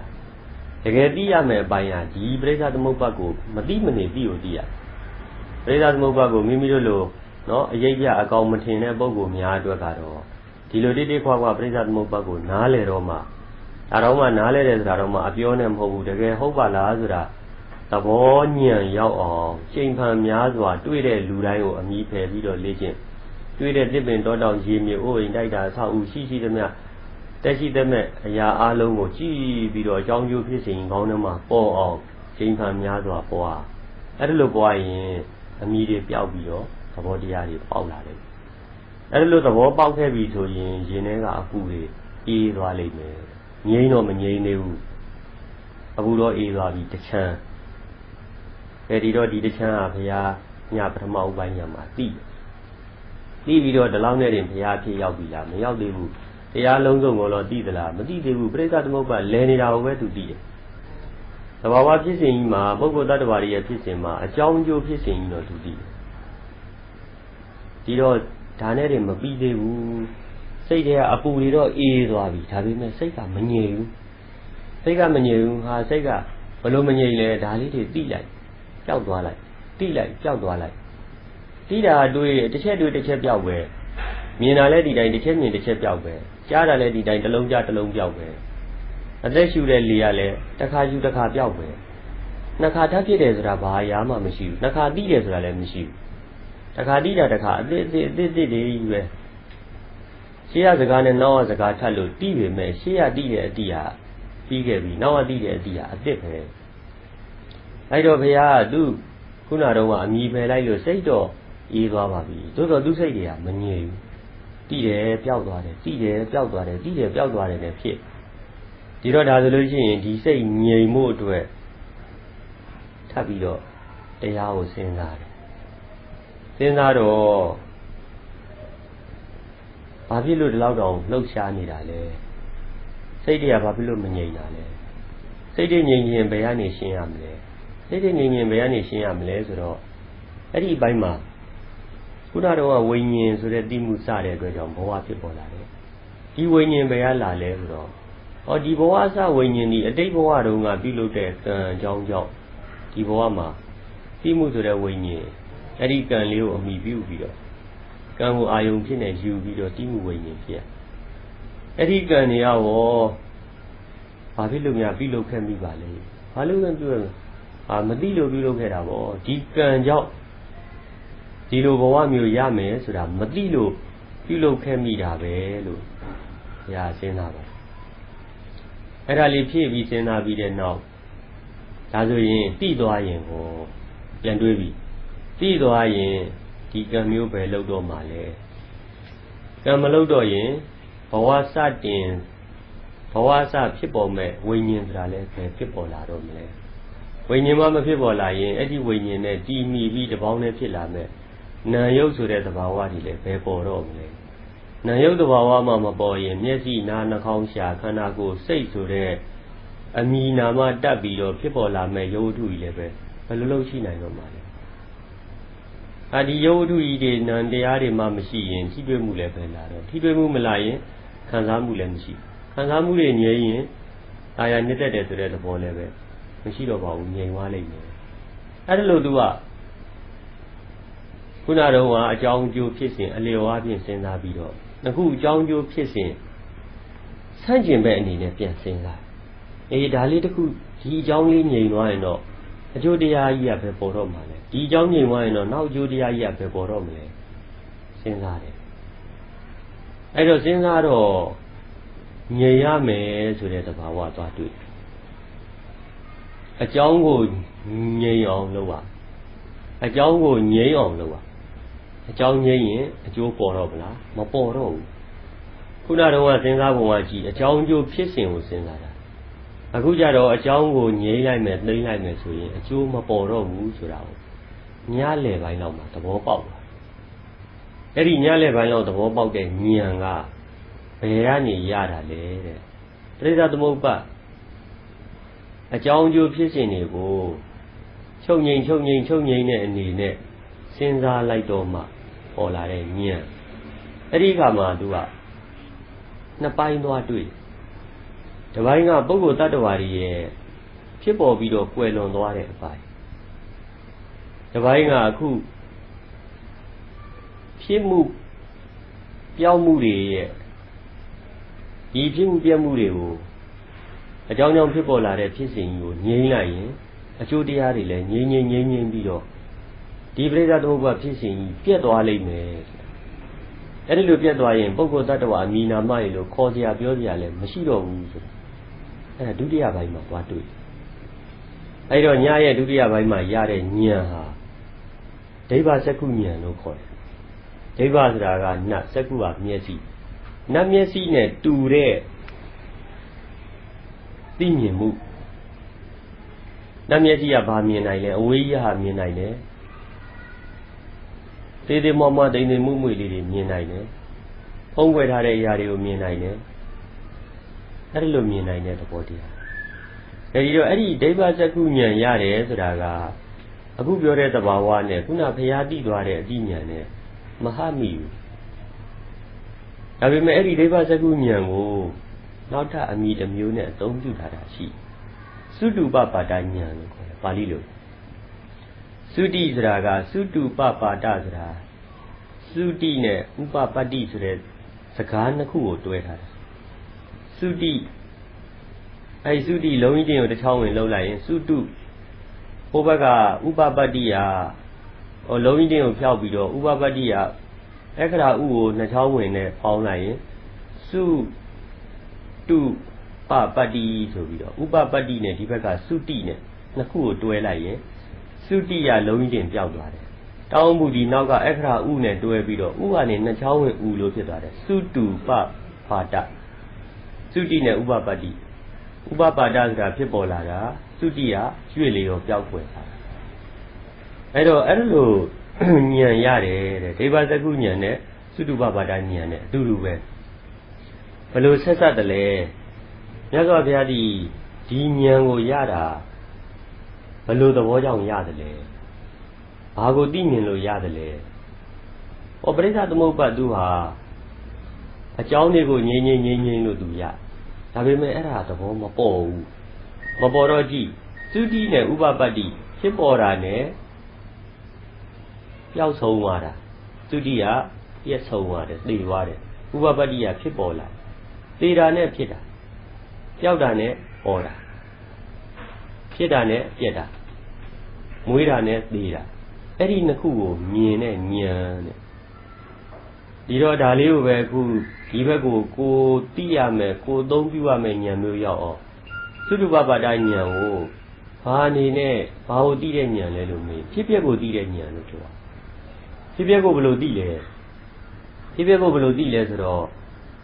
ပထမပိုင်းတော့ကຫນွယ်ပင်ရဲ့အဖျားကနေကင်ပြီးတော့အရင်ကိုရှာတဲ့နီးနဲ့သူသိခဲ့တယ်ဒီတရားတော်တွေဒုတိယပိုင်းကျတော့အဲ့ဒီမှာဒိဗ္ဗစကုဉာဏ်ဆိုတဲ့နတ်မျက်စိနဲ့တူတဲ့ဉာဏ်မျိုးလဲရရောသလောကလုံးသူကဖြန့်ကြည့် အဓိကအဖြစ်ပုဂ္ဂိုလ်တ attva တွေကိုကြည့်ပုဂ္ဂိုလ်တ attva တွေကြည့်တော့လူတယောက်ကိုသူအကဲခတ်ကြည့်လိုက်တယ်ဒီဉာဏ်နဲ့ကြည့်လိုက်တာဒီလူဟာဒီဘဝမှာဒီလိုမွေးခဲ့တယ်မွေးပြီးတော့သေသွားရှာသေပြီးတော့နောက်ဘဝမှာတခါပြန်ဖြစ်အနောက်တခါဒီလူဟာအဲ့ဒီလူနောက်ဘဝပြန်ဖြစ်မွေးနောက်တခါသေမွေးသေးမွေးသေးမွေးသေးနဲ့ဒီတယောက်သွားပြီးတော့နောက်တယောက်လာတယ်နောက်တယောက်ကိုကြည့်လိုက်တော့လေဒီလူဟာဒီဘဝမှာမွေးတယ် မွေးပြီးသေတယ်နောက်ဘဝပြန်ဖြစ်တယ်အမွေးတယ်ပြစ်တယ်သေတယ်အဲ့ဒါနဲ့ပဲသွားပြန်ဟောနောက်တယောက်လာတော့လည်းပဲဘသူကြည့်ကြည့်အဲ့ဒါကြီးသွားတွေ့အဲ့ဒါသွားတွေ့တော့ဥပမာလေးပေးထားတာရှိပါတယ်တကားဝင်ဝါနေလူတယောက်ဟာထိုင်ပြီးတော့အဝင်ထွက်ကိုထိုင်ကြည့်တယ်လူတယောက်ကဟာဝင်လာပြီတော်ကြထွက်သွားပြီနောက်တယောက်ကဝင်လာပြီတော်ကြထွက်သွားပြီနောက်တယောက်ကဝင်လာပြီတော်ကြထွက်သွားပြီ တကားဝါနေထိုင်ကြည့်နေတော့အဲ့ဒီလူတွေရဲ့အဝင်ထွက်ကိုတွေးနေတယ်ဘယ်သူပဲလာလာဘာပဲရှိတယ်ဝင်တာနဲ့ထွက်တာပဲရှိနှစ်ခုလေတယောက်လာလဲဝင်နေထွက်သွားတယ်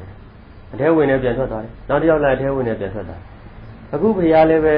သုတ္တဝပါဒဉာဏ်ဒိဗ္ဗစကုဉာဏ်ဆိုပြီးတော့ဒီလောကလုံးကြည့်လိုက်တော့အာဒိဗ္ဗစကုဉာဏ်ဒီပုဂ္ဂိုလ်ကဒီကံကြောင့်ဒီဘဝဖြစ်လာတယ်ဒီကံကုံတော့သေသွားတယ်အာဒီကံကြောင့်နောက်ဘဝဖြစ်လာတယ်နောက်ဒီကံကုံတော့သေသွားတယ် အဲ့ဒါကိုသွားတွေ့တယ်ဒိဗ္ဗစကုဉာဏ်နဲ့ပုဂ္ဂိုလ်တ attva တွေကြည့်လိုက်တော့ဒီကံကြောင့်ဒီလိုဖြစ်တယ်ဒီလိုမွေးတယ်ပြီးတော့ဒီကောင်ကံကုံတော့သေတယ်နောက်ကံတစ်ခုကြောင့်ဒီလိုဖြစ်တယ်သေတယ်ဒါလေးပဲသွားတွေ့ဒီနှစ်ခုလေဘသူဘသူကြည့်လိုက်မွေးတာနဲ့သေတာဖြစ်ပေါ်လာပြီးပြက်သွားတာတကားပေါက်ကနေထိုင်ကြည့်နေတဲ့လူဝင်တာနဲ့ထွက်တာဒီနှစ်ခုပဲမြင်သလို ပုဂ္ဂိုလ်တ attva တွေအားလုံးကြည့်လိုက်တော့ဖြစ်တာနဲ့ပြက်တာနှစ်ခုတည်းပါလားလို့အဲ့ဒါလို့ပြီးသွားကဲဒီတော့ကြည့်နော်ဒီဖြစ်ပြက်ဒီဖြစ်တာနဲ့ပြက်တာနှစ်ခုတည်းပြီးတဲ့ဉာဏ်လဲပေါ်ခုနတော့ကအမိတွေပယ်လိုက်ရင်ရှင်ထဲမှာရှိတဲ့ခွဲခြားမှုတွေပျောက်သွားသောကြောင့်အမားတွေပျောက်သွားသောကြောင့်ရှင်ထဲကအေးသွားတယ်စိတ်ထဲကအေးသွားအခုဖြစ်ပြက်ကိုမြင်တဲ့အခါကျတော့ တခါလာလဲဖြစ်ပြက်နှစ်ခါလာလဲဖြစ်ပြက်သုံးခါလာလဲဖြစ်ပြက်တယောက်လာလဲမွေးသေးနှစ်ယောက်လာလဲမွေးသေးဒေဝဇကုညာနဲ့သူကြည့်နေတာနတ်မျက်စိနဲ့လူတယောက်ကြည့်လိုက်ဘဝစာမွေးတယ်ဘဝဆုံးမှသေးတယ်သုတိဖြစ်ပေါ်လာတယ်ဥပပတ္တိဥပပတ္တိဖြစ်ပေါ်လာတယ်သုတိရွေ့လျောပါတယ်ဒါဆိုဖြစ်ပြဖြစ်ပြဖြစ်ပြလို့သူမြင်နေတာတဲ့အတူချုံလိုက်တော့အဲ့ဒါလိုသွားမြင်တာဒီတော့အတူချုံလိုက်တော့ဒီဖြစ်ပြဖြစ်ပြနဲ့မြင်တော့ဘာမှမထူးပါဘူးကွာမထူးတော့ အကြောင်းတရားတွေကိုသူကငြိမ်းတော့ကဲတကယ်လို့များဒီအကြောင်းမရှိရင်ဒီအကျိုးပေါ်ပါမလားမပေါ်တော့ဘူးဒီအကြောင်းငြိမ်းမှဒီအကျိုးမပေါ်မှာဒီအကြောင်းငြိမ်းမှဒီအကျိုးမပေါ်မှာဒီအကြောင်းငြိမ်းမှဒီအကျိုးမပေါ်မှာဆိုတော့ဘယ်ကနေစပြီးတွေ့တယ်ခုနဖြစ်ပြီးပြက်တယ်ဖြစ်ပြီးပြက်တယ်ဖြစ်ပြီးပြက်တယ်ဟိုသူသိနေရကနေဖြစ်ပြက်ကမတူပါဘူးစိတ်တွေကဒါလိုက်ကြည့်နေရတော့မငြိမ်ဘူးသူကတော့ပုဂ္ဂိုလ်တ attva တော့မပါတော့ဘူးဒါလေးကဖြစ်ပြီးဒါပြက်တယ်ဒီဒီဒီလူဟာ လူရလို့အမိရတော့သူပယ်ထားပြီးပြီဒုတိယပိုင်းမှာဒီပုဂ္ဂိုလ်တ attva ဒီဖြစ်စဉ်ညာအကြောင်းကျိုးဖြစ်စဉ်ညာဒီလိုဖြစ်ပြီးဒီလိုပြက်တယ်ဒီလိုဖြစ်ဒီလိုပြက်တယ်နဲ့သွားနေတာခြားတော့စိတ်တွေကပင်ပန်းလာတာပေါ့ဒီဖြစ်ပြက်ကြီးပဲတစ်ခုလာလဲဖြစ်ပြက်နှစ်ခုလာလဲဖြစ်ပြက်တယောက်လာလဲဖြစ်ပြက်နှစ်ယောက်လာလဲဖြစ်ပြက်မကြည့်ချင်တော့မကြည့်ချင်တော့စိတ်ကိုငြိမ်လိုက်တယ်အဲအကြောင်းချုပ်ရင်ကြိုးချုပ်မှာပဲကဲဒီအကြောင်းတွေငြိမ်ဟာဒီသဘောတရားတွေသူတေချာသိသွားပြီသိသွားတော့ကံတိဥသောပြုလို့ချက်ကြောင့်ဘဝဖြစ်လာတယ် အကံကိုရင်ဘဝဆုံးတယ်နောက်ကံတိဥသောပြုလို့ချက်ကြောင့်ဘဝဖြစ်လာတယ်ဒီတော့ဒီကံကိုမလုပ်တော့ဘူးကံမလုပ်တော့လို့ရှိရင်ဘဝလည်းမဖြစ်တော့ဘူးဘဝမဖြစ်တော့ရင်ငြိမ်သွားပြီအဲ့ဒါမှတွေ့သွားတာဘာကိုမြင်လို့တွေ့တာလဲလူရင်းပြောရမယ်ဆိုဖြစ်ပျက်ကိုမြင်လို့တွေ့တာဖြစ်ပျက်တစ်ခုလည်းမြင်လာလားဆိုတော့မဟုတ်ဘူးအဲ့ဒီဖြစ်ပျက်ကို तू ကစွန့်ရသေးတယ်ဖြစ်ပျက်ကိုကြည့်နေမယ်ဆိုရင်စိတ်ကမငြိမ်ဘူးဖြစ်လိုက်ပြက်လိုက်ဖြစ်လိုက်ပြက်လိုက်နဲ့ဘဝဖြစ်ပျက်တိုင်းကိုယ်စိတ်ကလိုက်ဖြစ်ပျက်နေတာဟုတ်ဟ ကိုကအဖြစ်လေးတွေးလိုက်ကိုကစိတ်အဖြစ်လေးကိုသိလိုက်အပြက်လေးကိုတွေးလိုက်အပြက်လေးကိုသိလိုက်နေဒီဖြစ်ဖြစ်ဖြစ်ဖြစ်နဲ့မြင်နေတော့ဘယ်ဆုံးသတ်နိုင်လဲဒီဖြစ်ဖြစ်ဖြစ်စဉ်ကြီးရတယ်တခါတော့ကပြောခဲ့ပြီးပြီလောကမှာအမြဲတမ်းဖြစ်နေတဲ့အရာနှစ်ခုရှိတယ်ဖြစ်တာပြက်တာနဲ့နိဗ္ဗာန်နဲ့နှစ်ခုဖြစ်ပျက်ကလည်းအမြဲတမ်းဖြစ်နေတယ်နိဗ္ဗာန်ကလည်းအမြဲတမ်းဖြစ်ဘယ်သူဘယ်သူပဲကြည့်ကြည့်ဖြစ်ပျက်ကဖြစ်နေပြီးသားပဲအဲ့ဒီဖြစ်ပျက်မှာနောက်မှာကပ်ပြီးတော့နိဗ္ဗာန်ဆိုတာလည်းအငြိမ့်တတ်ကြီးရရှိပြီးသားပဲ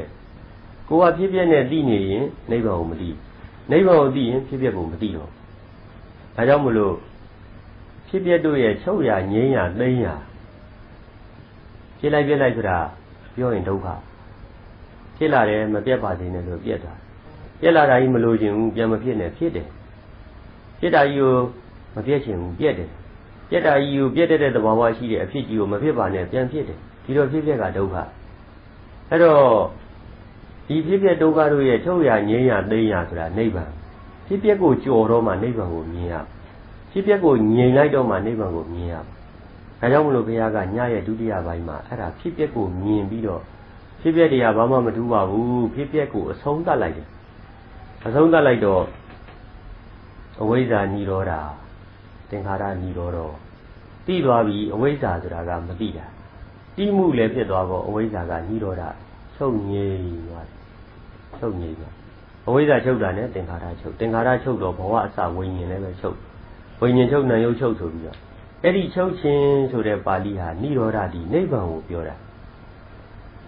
ပေါ်ပြီးပြောက်သွားလို့ဖြစ်ပြီးပြက်သွားတာကိုនិရောဓလို့သုံးတာလည်းရှိတယ်ဒါပေမဲ့ဘုရားအခုမြားရဲ့ဒုတိယပိုင်းမှာအဝိဇ္ဇာនិရောဓအ ဝိဇာယတွေဝအတေတဝိရာကနိရောဓသင်္ခါရနိရောဓနော်ဝိဇာယတွေဝအတေတဝိရာကနိရောဓသင်္ခါရနိရောဓဆိုပြီးအဲ့မှာ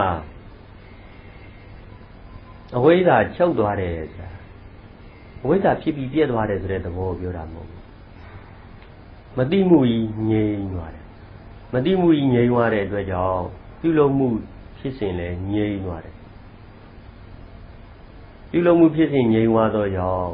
ဘဝအစဝိညာဉ်ဖြစ်ပေါ်မှုလည်းငြိမ်သွားတယ်။ကြောက်ကြောက်ငြိမ်သွားတာ။အဲ့ဒီငြိမ်မှုကိုပါဠိလိုပြောရင်ဏိရောဓ။ဏိရောဓကိုဘယ်အခါမှမြင်လဲမြတ်စွာဘုရား။ညရဲ့ဒုတိယပိုင်းမှာမြင်တယ်။အဲ့ဒီဏိရောဓကဖြစ်ပြီးပြတ်သွားတာကိုမြင်တာမဟုတ်ဘူး။ဖြစ်ပြက်တို့ရဲ့ဆုံးရာကိုမြင်တာ။ဖြစ်ပြက်ရှိနေတော့ကမငြိမ်ဘူး။လုံနေတယ်။ဖြစ်တာကိုသိလည်းပဲစိတ်ကလှုပ်ရှား။ပြက်တာကိုသိတော့လည်းစိတ်ကလှုပ်နေ တယ်။တစ်ခုပြက်တစ်ခုပြက်တစ်ခုပြက်တစ်ခုနဲ့စိတ်ကလှုပ်လှုပ်လှုပ်လှုပ်လှုပ်လှုပ်နဲ့လိုက်သွားနေတယ်။အဲ့ဒါလိုလိုက်နေသမျှနိရောဓဆိုတဲ့နိဗ္ဗာန်အငြိမ့်တမပေါ်ဘူး။စိတ်ထဲကဖြစ်ဖြစ်တွေသိပါများလာတော့ဆုံးဖြတ်ချက်ချတယ်။အာဖြစ်ဖြစ်ဆိုတာအလကားပေါ့ကွာတစ်ခါလာလဲဖြစ်ဖြစ်နှစ်ခါလာလဲဖြစ်ဖြစ်။ကဲအဲ့တော့မထူးဘူးဒီဖြစ်ဖြစ်ကြီးကြည့်နေရတာပင်ပန်းလာပါတယ်။ကြီးငွေသွားပြီ။ကြီးငွေသွားတော့ဖြစ်ဖြစ်ကိုမကြည့်တော့ဘူးဆိုစိတ်ကိုအငြိမ့်ထားလိုက်။စိတ်ကိုဖြစ်ဖြစ်ကနေခွာလဲခွာလိုက်ပေါ့။ အဲ့ဒီမှာနိရောဓဆိုတဲ့အငြိမ့်တကြီးပေါ်လာ။အငိမ့်တဆိုတဲ့နိရောဓသဘာဝကိုစိတ်နဲ့အာယုံသိသွားသိမြင်သွားတယ်အဲ့ဒါမြတ်စွာဘုရားဒီညရဲ့ဒုတိယပိုင်းမှာနိဗ္ဗာန်ကိုမြင်တယ်ပါဠိလိုရွတ်ပါဆိုရင်ဝိဇ္ဇာတွေရောအတေတာဝိရာဂနိရောဓသင်္ခါရနိရောဓသင်္ခါရနိရောဓဝိညာဏနိရောဓဝိညာဏနိရောဓနာမရူပနိရောဓမိမိတို့အကုန်ရဘယ်ဉာဏ်ရလို့လဲဒေဝတကုဉာဏ်ရလို့ ဒေဝတကုဉာဏ်ရတော့လူတွေမွေးတာသေးတာသူကြည့်တယ်တကားဘောဘကနေထိုင်ပြီးတော့ကြည့်တယ်လို့တကားဘွားကနေအဝင်ထွက်ထိုင်ကြည့်တယ်လို့ကြည့်မွေးတာနဲ့သေးတာနှစ်ခုတည်းပဲအဆုံးသတ်မွေးတာသေးတာကိုသာသုံးပေသုံးရသဘောတရားဉာဏ်ရောက်အောင်မိမိတို့အသိဉာဏ်နဲ့ဆွဲထည့်တော့ဖြစ်တာနဲ့ပြက်တာနှစ်ခုတည်းသွားတွေ့တယောက်လာလည်းဖြစ်ပြနှစ်ယောက်လာလည်းဖြစ်ဖြစ်ပြကြည့်နေသမျှတော့ငြိမ့်တတ်ရမလားမရဘူးဒါကြောင့်မလို့ဖြစ်ပြဖြစ်စဉ်ကိုတည်တည်ကြကြတိသွားတဲ့အခါမှာဒီဖြစ်ပြဖြစ်စဉ်ကိုကြော်ချလိုက်တယ် တော်ပြီမကြည့်တော့ဘူးလဲဆိုလဲဆိုတော့ငြိမ့်သွားတယ်ဘာငြိမ့်တယ်လဲအဝိဇ္ဇာဆိုတဲ့မတိမှုကြီးငြိမ့်သွားတာမတိမှုငြိမ့်ရင်ပြုလုပ်မှုလည်းပဲငြိမ့်တော့မှာပဲပြုလုပ်မှုငြိမ့်ရင်ဖြစ်ပေါ်မှုတွေလည်းငြိမ့်တော့မယ်ဆိုသိက္ခာသမုပ္ပါဆက်ဝါရင်တောက်လျှောက်ပြတ်သွားအဲ့ဒါနိဗ္ဗာန်ကိုမြင်တဲ့အချိန်ပြတ်တာနိဗ္ဗာန်ကိုမမြင်သမျှမပြတ်ဘူးနိဗ္ဗာန်ကိုမြင်လို့အဲ့ဒီအချိန်ခါမှာပြတ်လဲပြတ်သွားဘုရားဒုတိယဇင်ရောက်သွားဒါပေမဲ့ဘုရားဖြစ်သလားမဖြစ်ဘူးအာသောတရားကုန်သလားမကုန်သေးဘူး နိဗ္ဗာန်ကိုအဲ့လိုမြင်တဲ့အချိန်ခါမှာသူ့ရဲ့ယင်ထဲမှာဒိဋ္ဌာနုတရာလို့ခေါ်တဲ့အယူမှာအမိတွေကိုအမှန်လို့ထင်ထားတဲ့အမှားလည်းမရှိတော့ဘူးနောက်တစ်ချက်ဒီဘက်ကဝိသိကိစ္စနုတရာဆိုတဲ့ယုံမတန်တရားအဲ့ဒါတွေလည်းမရှိတော့ရှင်းတော့ဘာကိုမြင်တော့မှရှင်းတယ်နိဗ္ဗာန်ကိုမြင်တော့မှရှင်းတယ်ဒါပေမဲ့အဲ့ဒီချိန်ခါမှာအကုန်လုံးကိုသိပြီလား မသိသေးဘူးကြောင်းကျိုးဖြစ်စဉ်မှာအဲ့ဒါညရဲ့တတိယဘိုင်းမှာထပ်ပြီးရှင်းရမယ့်အချက်တစ်ချက်ရှိသေးတယ်။ကဲဒီတော့မိမိတို့ရဲ့လုပ်ငန်းစဉ်မှာနိဗ္ဗာန်ကိုမြင်ဖို့အတွက်အဲ့ဒီအပိုင်းနှစ်ပိုင်းနဲ့တည်းမြတ်စွာဘုရားကညွှန်ကြားသွားတယ်။နိဗ္ဗာန်မြင်ဖို့အတွက်ပထမပိုင်းမှာပါပေးရမလဲ။အမိတွေကိုပေးရ။အမိတွေနဲ့တွဲပြီးမှတ်နေသမျှတော့အဲ့ဒီပုဂ္ဂိုလ်ဘယ်တော့မှမအေးဘူး။နိဗ္ဗာန်ဒီကစကလုံးလေးနှလုံးနဲ့ ငြိမ်းခြင်းအေးခြင်းတဘာဝဖြစ်ပျက်တွေကိုလိုက်မှတ်နေသမျှလည်းဘယ်တော့မှမငြိမ်းဘူးဒီတော့အမိတွေကိုပယ်ရမယ်အမိပယ်လိုက်ရင်နာနဲ့ရုပ်ဆိုတဲ့သဘာဝအမှန်ကိုသိတဲ့ဉာဏ်ရလာလိမ့်မယ်နာယုတ်ဆိုတဲ့အမှန်သဘောတရားကိုသိတဲ့ဉာဏ်ရလာလိမ့်မယ်ပထမပိုင်း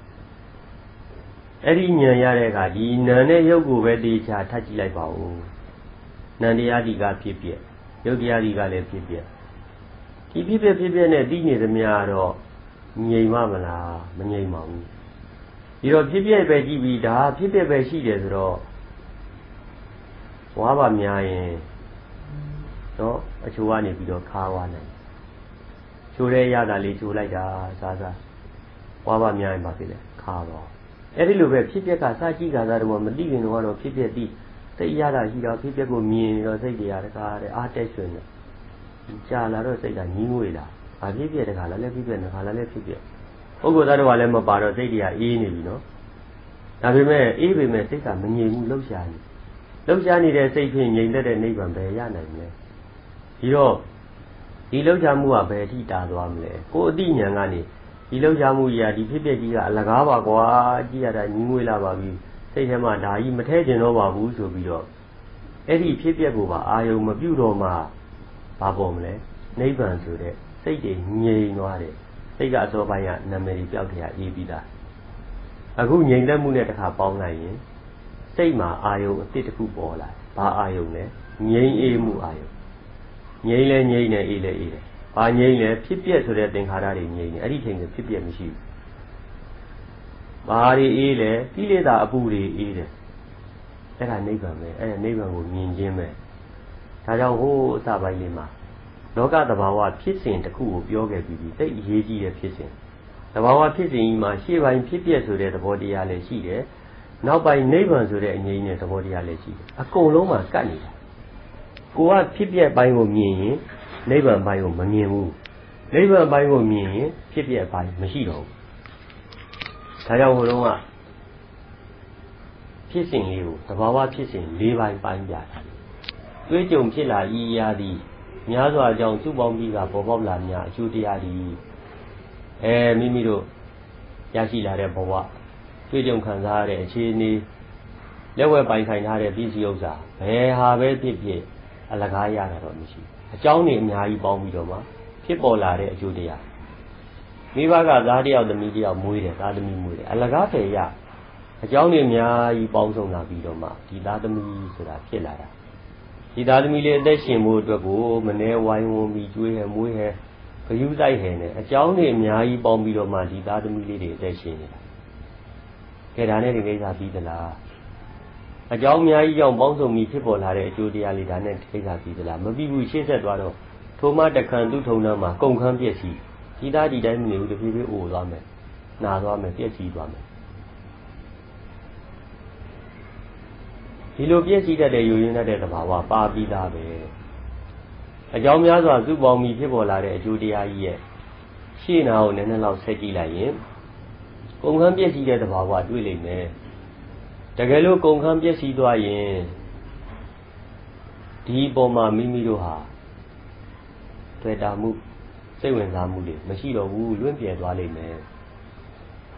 ဒီပေါ်မှာစိတ်ဝင်စားတော့ဘူးစိတ်တွေမပါတော့ဘူးလွင့်သွားပြီဆိုရင်ဘာပေါ်လာမလဲငြိမ်းအေးမှုကြီးပေါ်လာလိမ့်မယ်ပြောခဲ့ပြီးပြီတခါတွေ့ကြုံဖြစ်လာ၏ရာဒီများစွာကြောင့်စုပေါင်းပြီးကပေါ်ပေါက်လာညာအကျိုးတရားသည်ထိုမှတခံသူထုံနာမှာကုန်ခန်းပြည့်စည်လွင့်ပြည့်ကြီးက ချုပ်ငြိမ်းရသည်ဓမ္မသဘောများလာသည်ဓမ္မတဘာဝဖြစ်စဉ်လောကမှာဒီတိုင်းဖြစ်နေတာဒီပင်လေးတစ်ပင်ပေါက်လာဖို့အကြောင်းများကြီးစုပေါင်းပြီးဖန်ပြီးရရေလောင်းရတယ်ပေါင်းပင်ရတယ်အဲ့ဒီပင်လေးအသီးသီးဖို့ရေးတဲ့ဒီတိုင်းနေသလားမနေပါဘူးဒီသစ်ပင်လေးကတော့ရတော့ကုန်ခန်းပြည့်စည်ခြင်းတဘာဝရပြည့်စည်ရလိမ့်မယ်တကယ်လို့ကုန်ခန်းပြည့်စည်မှုတဘာဝကိုကြော်ပြီးကြည့်နိုင်မယ်ဆိုရင် ကုန်ခန်းပြည့်စည်ပြီးဒီနောက်မှာတော့ဘယ်သူမှစိတ်ဝင်စားတော့ဘူးဒီပင်ကိုစိတ်ဝင်စားတော့ရင်အဲ့ဒီပင်နဲ့ပတ်သက်တဲ့ငြိမ်းအေးမှုရမယ်အဲ့ဒီတော့ကကြည်ကြည်ပြန့်ပြန့်ပြောခဲ့တယ်အဲ့ဒီတော့အဲ့ဒီဖြစ်စဉ်မှာရန်ကုန်မှာတခါအဲ့ဒီဖြစ်စဉ်လေးကိုပြောပြပြောပြတော့ကြည့်ကျင်တာရှိရင်မေးပါလို့ပြီးသွားတဲ့ခါကျတော့ဒကမတယောက်ကထားရှာအဲ့ဒီဖြစ်စဉ်မှာတစ္ဆာ၄ပါးပါသလားတဲ့ထားမိတစ္ဆာ၄ပါးပါတာဘောလို့တစ္ဆာ၄ပါးမှာ တွေးကြုံဖြစ်လာဤရာဒီများစွာအကြောင်းစုပေါင်းပြီးကပေါ်ပေါက်လာ냐အကျိုးတရားဒီသူဘဝရဲ့လိုရလာတဲ့အကျိုးတရားကြီးမှာရှေ့လေးနည်းနည်းတိုးကြည့်လိုက်ကုန်ခန်းပြည့်စည်ဘလူပဲဖြစ်ဖြစ်ကုန်သွားမယ်ခံသွားမယ်ပြည့်စည်သွားမယ်အဲ့ဒီကုန်ခန်းပြည့်စည်မှုရလာတဲ့အကျိုးတရားရဲ့အကျိုးတရားတွေရဲ့ကုန်ခန်းပြည့်စည်မှုရဲ့ဒီဒုက္ခသစ္စာပြည့်သွားတဲ့အတွက်ကြောင့်ဒုက္ခရဲ့လို့မြင်တာပြည့်သွားတာကြီးကိုဘယ်သူမှအကောင်းမထင်ဘူးအဲ့ဒါဒုက္ခသစ္စာဒုက္ခသစ္စာဖြစ်တာနဲ့တပြိုင်နက်အဲ့ဒီပုံမှာ စိတ်ဝင်စားမှုတွေမရှိတော့ဘူးဒုက္ခဆိုရင်ဘယ်သူမှမလိုချင်ဘူးမလိုချင်တော့သမုဒိယသစ္စာတဏှာလောဘသိတယ်လွင့်ပြဲသွားတယ်ဆိုတာစိတ်မဝင်စားတော့ဘူးတွေ့တာမှုမရှိတော့ဘူးဆိုတာသမုဒိယသစ္စာတဏှာလောဘသိတာဘာကြောင့်သိတယ်လဲသမုဒိယသစ္စာတဏှာလောဘသိတဲ့ဟိုဟာကိုသူ့ရဲ့သဘောတရားမှာမေဃသစ္စာဆိုတဲ့အချက်ရှိချက်ကပါပြီးသားပဲအဲ့တော့စိတ်ဓာတ်တွေလွင့်ပြဲသွားတယ်ပါဠိလိုပြောရင်ဝိရာကမဲ့ညာဝိရာဂောတိမဲ့ကော ဝိရာဂဆိုတာတတ်နှစ်သက်မှုတဏှာတွေဆွဲလန်းမှုအဲ့ဒါလိုညှိကတွေ့တာမှုတွေကင်းသွားတာဝိရာဂဝိဆိုတာကင်းတာရာဂဆိုတာဟိုအဝတ်ကိုဆေးတဲ့သိုးတယ်လို့စွဲနေတဲ့အစွဲတွေဝိကင်းသွားတာမိမိတို့စိတ်တွေဟာဒီရာဟုတုတွေပေါ်မှာကညှိတွေ့တာငဲ့ွက်ထောက်ထားညာတာပြီးတော့ဖြစ်နေတာတွေအကုန်ကင်းသွားတယ်အဲ့ဒါမဉ္ဇဉ်လို့လည်းခေါ်တယ်အဲ့ဒီမဉ္ဇဉ်ကဘာကိုဖြည့်ရှင်းလဲသမုဒိယသစ္စာတဏှာလောဘကိုသူကအပြီးတိုင်ဖြည့်ရှင်းတယ် အဲ့တော့အဲ့ဒီစိတ်တရားဒီပေါ်မှာမဝင်စားတော့ဘူးလွင့်ပြဲသွားခြင်းသဘောတရားဒီမဉ္ဇဉ်နဲ့သမုဒိယသစ္စာတဏှာသိခြင်းပဲသမုဒိယသစ္စာနဲ့မဂ္ဂသစ္စာသမုဒိယသစ္စာပေါ်လာမဂ္ဂသစ္စာပေါ်လာလို့သမုဒိယသစ္စာပျောက်သွားခြင်းပျောက်သွားတဲ့အခါမှာချုပ်ငြိမ်းရသည်ဆိုတဲ့သဘာဝကနိရောဓသစ္စာနိဗ္ဗာန်အဲ့မှာသစ္စာလေးပါးကိုပြောပြလိုက်တယ်အဲ့ဒါပဲဖြစ်စဉ်ပါလူတယောက်ရဲ့ဖြစ်စဉ်မှာသစ္စာလေးပါးရှိပြီးသားနိဗ္ဗာန်ကြီးရောက်ပြီးသား ဒါပေမဲ့မိမိတို့ကဘာသိလဲမိမိတို့သိတာပေါ်လာတဲ့အကြောင်းပဲသိအကြောင်းတွေတိုက်ခိုင်းပြီးတော့မဖြစ်ဖြစ်အောင်လိုက်ကြိုးစားတယ်ဖြစ်ပေါ်လာတော့ဝမ်းသာတယ်အဲ့ဒါလေးမပြတ်တော့တဲ့အတိုင်းပဲတခါတည်းပွေးပိုက်ထားတယ်ငှဲ့ခွက်ထားတယ်သမုဒိယသစ္စာတဏှာလောဘဖြစ်တယ်ဖြစ်ပေါ်လာအောင်ကြိုးစားတယ်ဖြစ်ပြီးပြတ်သွားတာလေးတောင်မှမသိလက်မခံဘူးဖြစ်တာကိုပဲသူတို့လက်ခံထားတယ်သာသမီဖြစ်တယ်အဖြစ်အတိုင်းလက်ခံထားတယ်ပစ္စည်းဥစ္စာတွေဖြစ်တယ်အဖြစ်အတိုင်းလက်ခံထားတယ် ဒီပစ္စည်းဥစ္စာတွေကိုကြည့်လိုက်ရှေးလေးနည်းနည်းလေးမျက်စိတစ်ထောက်လောက်ပဲထောက်ကြည့်လိုက်ပစ္စည်းဥစ္စာဆိုတာအကြောင်းအများကြီးသူ့ပေါင်းပြီးမှရှားလို့ရထားတာရထားတော့သူ့ရဲ့သဘာဝဒါရထားတာအကျိုးတရားပေါ့ဒီအကျိုးတရားတို့ရကုန်ခန်းပြည့်စီမှာကုန်ခန်းပြည့်စီရင်ဖြစ်ပြက်ဖြစ်ပြက်ပဲအဲ့ဒီကိုဖြစ်ပြက်ကိုသေချာမြင်ရင်အဲ့ဒါဒုက္ခကိုမြင်တာဖြစ်ပြီးပြက်သွားတယ်ဆိုတဲ့အရာကြီးဆိုတော့ဒုက္ခကိုမြင်ပြီးသားပဲ ဒုက္ခကိုမြင်တာနဲ့ဆိုင်နဲ့မလိုချင်တော့ဘူးဆိုတဲ့စိတ်တွေမဝင်စားတော့ဘူးဆိုတဲ့ဒုရိယသစ္စာတဏှာလောဘသိပြီးတော့မေဃသစ္စာဆိုတဲ့မဲ့ညာဖြစ်စိတ်ဝင်စားတော့ရင်အေးပါတာပဲလူတယောက်စိတ်ဝင်စားတော့ရင်အဲ့ဒီလူကိုမစင်စားတော့ပါဘူးမစင်စားတော့အဲ့ဒီလူနဲ့ပတ်သက်လို့ဘာမှလောက်ချမှုလည်းမရှိဘူးဝင်မှုလည်းမရှိတော့ဘူးအဲ့ဒါနိဗ္ဗာန်ရခြင်းဒီတော့ကိုယ်ခန္ဓာကိုယ်ရဲ့ဖြစ်စဉ်မှာလည်းအဲ့ဒီအဆုံးထိမြင်အောင်ကြည့်ပေးပါတိပင်တော်တောင်ရေးမြေ ကိုပိုင်ဆိုင်ထားတဲ့တက်ရှိတတ်မဲ့အရာအလုံးမှာလည်းပဲအဲ့ဒီဖြစ်စဉ်ကိုမြင်အောင်ကြည့်ပေးပါအဲ့ဒါဆိုရင်အဲ့ဒီလိုမြင်တတ်ပြီဆိုရင်နိဗ္ဗာန်ကိုပြီးပြီငြိမ်းမှုကိုနားလည်ပြီအဲ့ဒါဘယ်ကနေလာလဲအခုဘုရားဟောတဲ့သိက္ခာသမုပ္ပါတရားဒေသနာတော်မှာလည်းပဲဘုရားကိုယ်တိုင်အဲ့ဒါကိုသူကသိမြင်တယ်ဘယ်ပုံစံနဲ့သိမြင်လဲ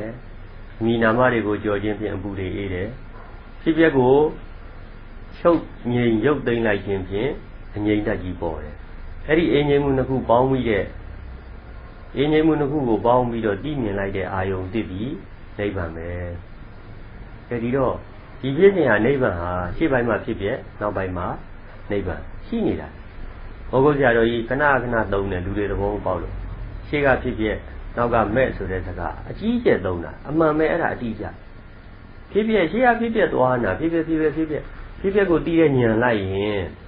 စ်ပြကိုတီးတဲ့ညံဒုက္ခသစ္စာကိုတီးတဲ့ညံမက္ခသစ္စာ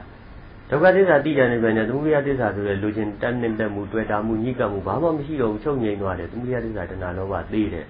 အဲ့ဒါတည်တာမဉ္ဇဉ်ဖြစ်တာနဲ့နိဗ္ဗာန်ပေါ်တာနဲ့သစ္စာလေးချက်ကတပြိုင်တည်းစိုက်တာအမှန်တရားလေးခုကတပြိုင်တည်းပေါ်တာဒါပေမဲ့အခုမိမိတို့တည်ထားတာကဘာတည်လဲဘသူတွေ့ရင်ဘသူပဲပဲပါပဲအာချစ်တယ်မုန်းတယ်ကြိုက်တယ်ဒါလာတာစိတ်တရားတွေ့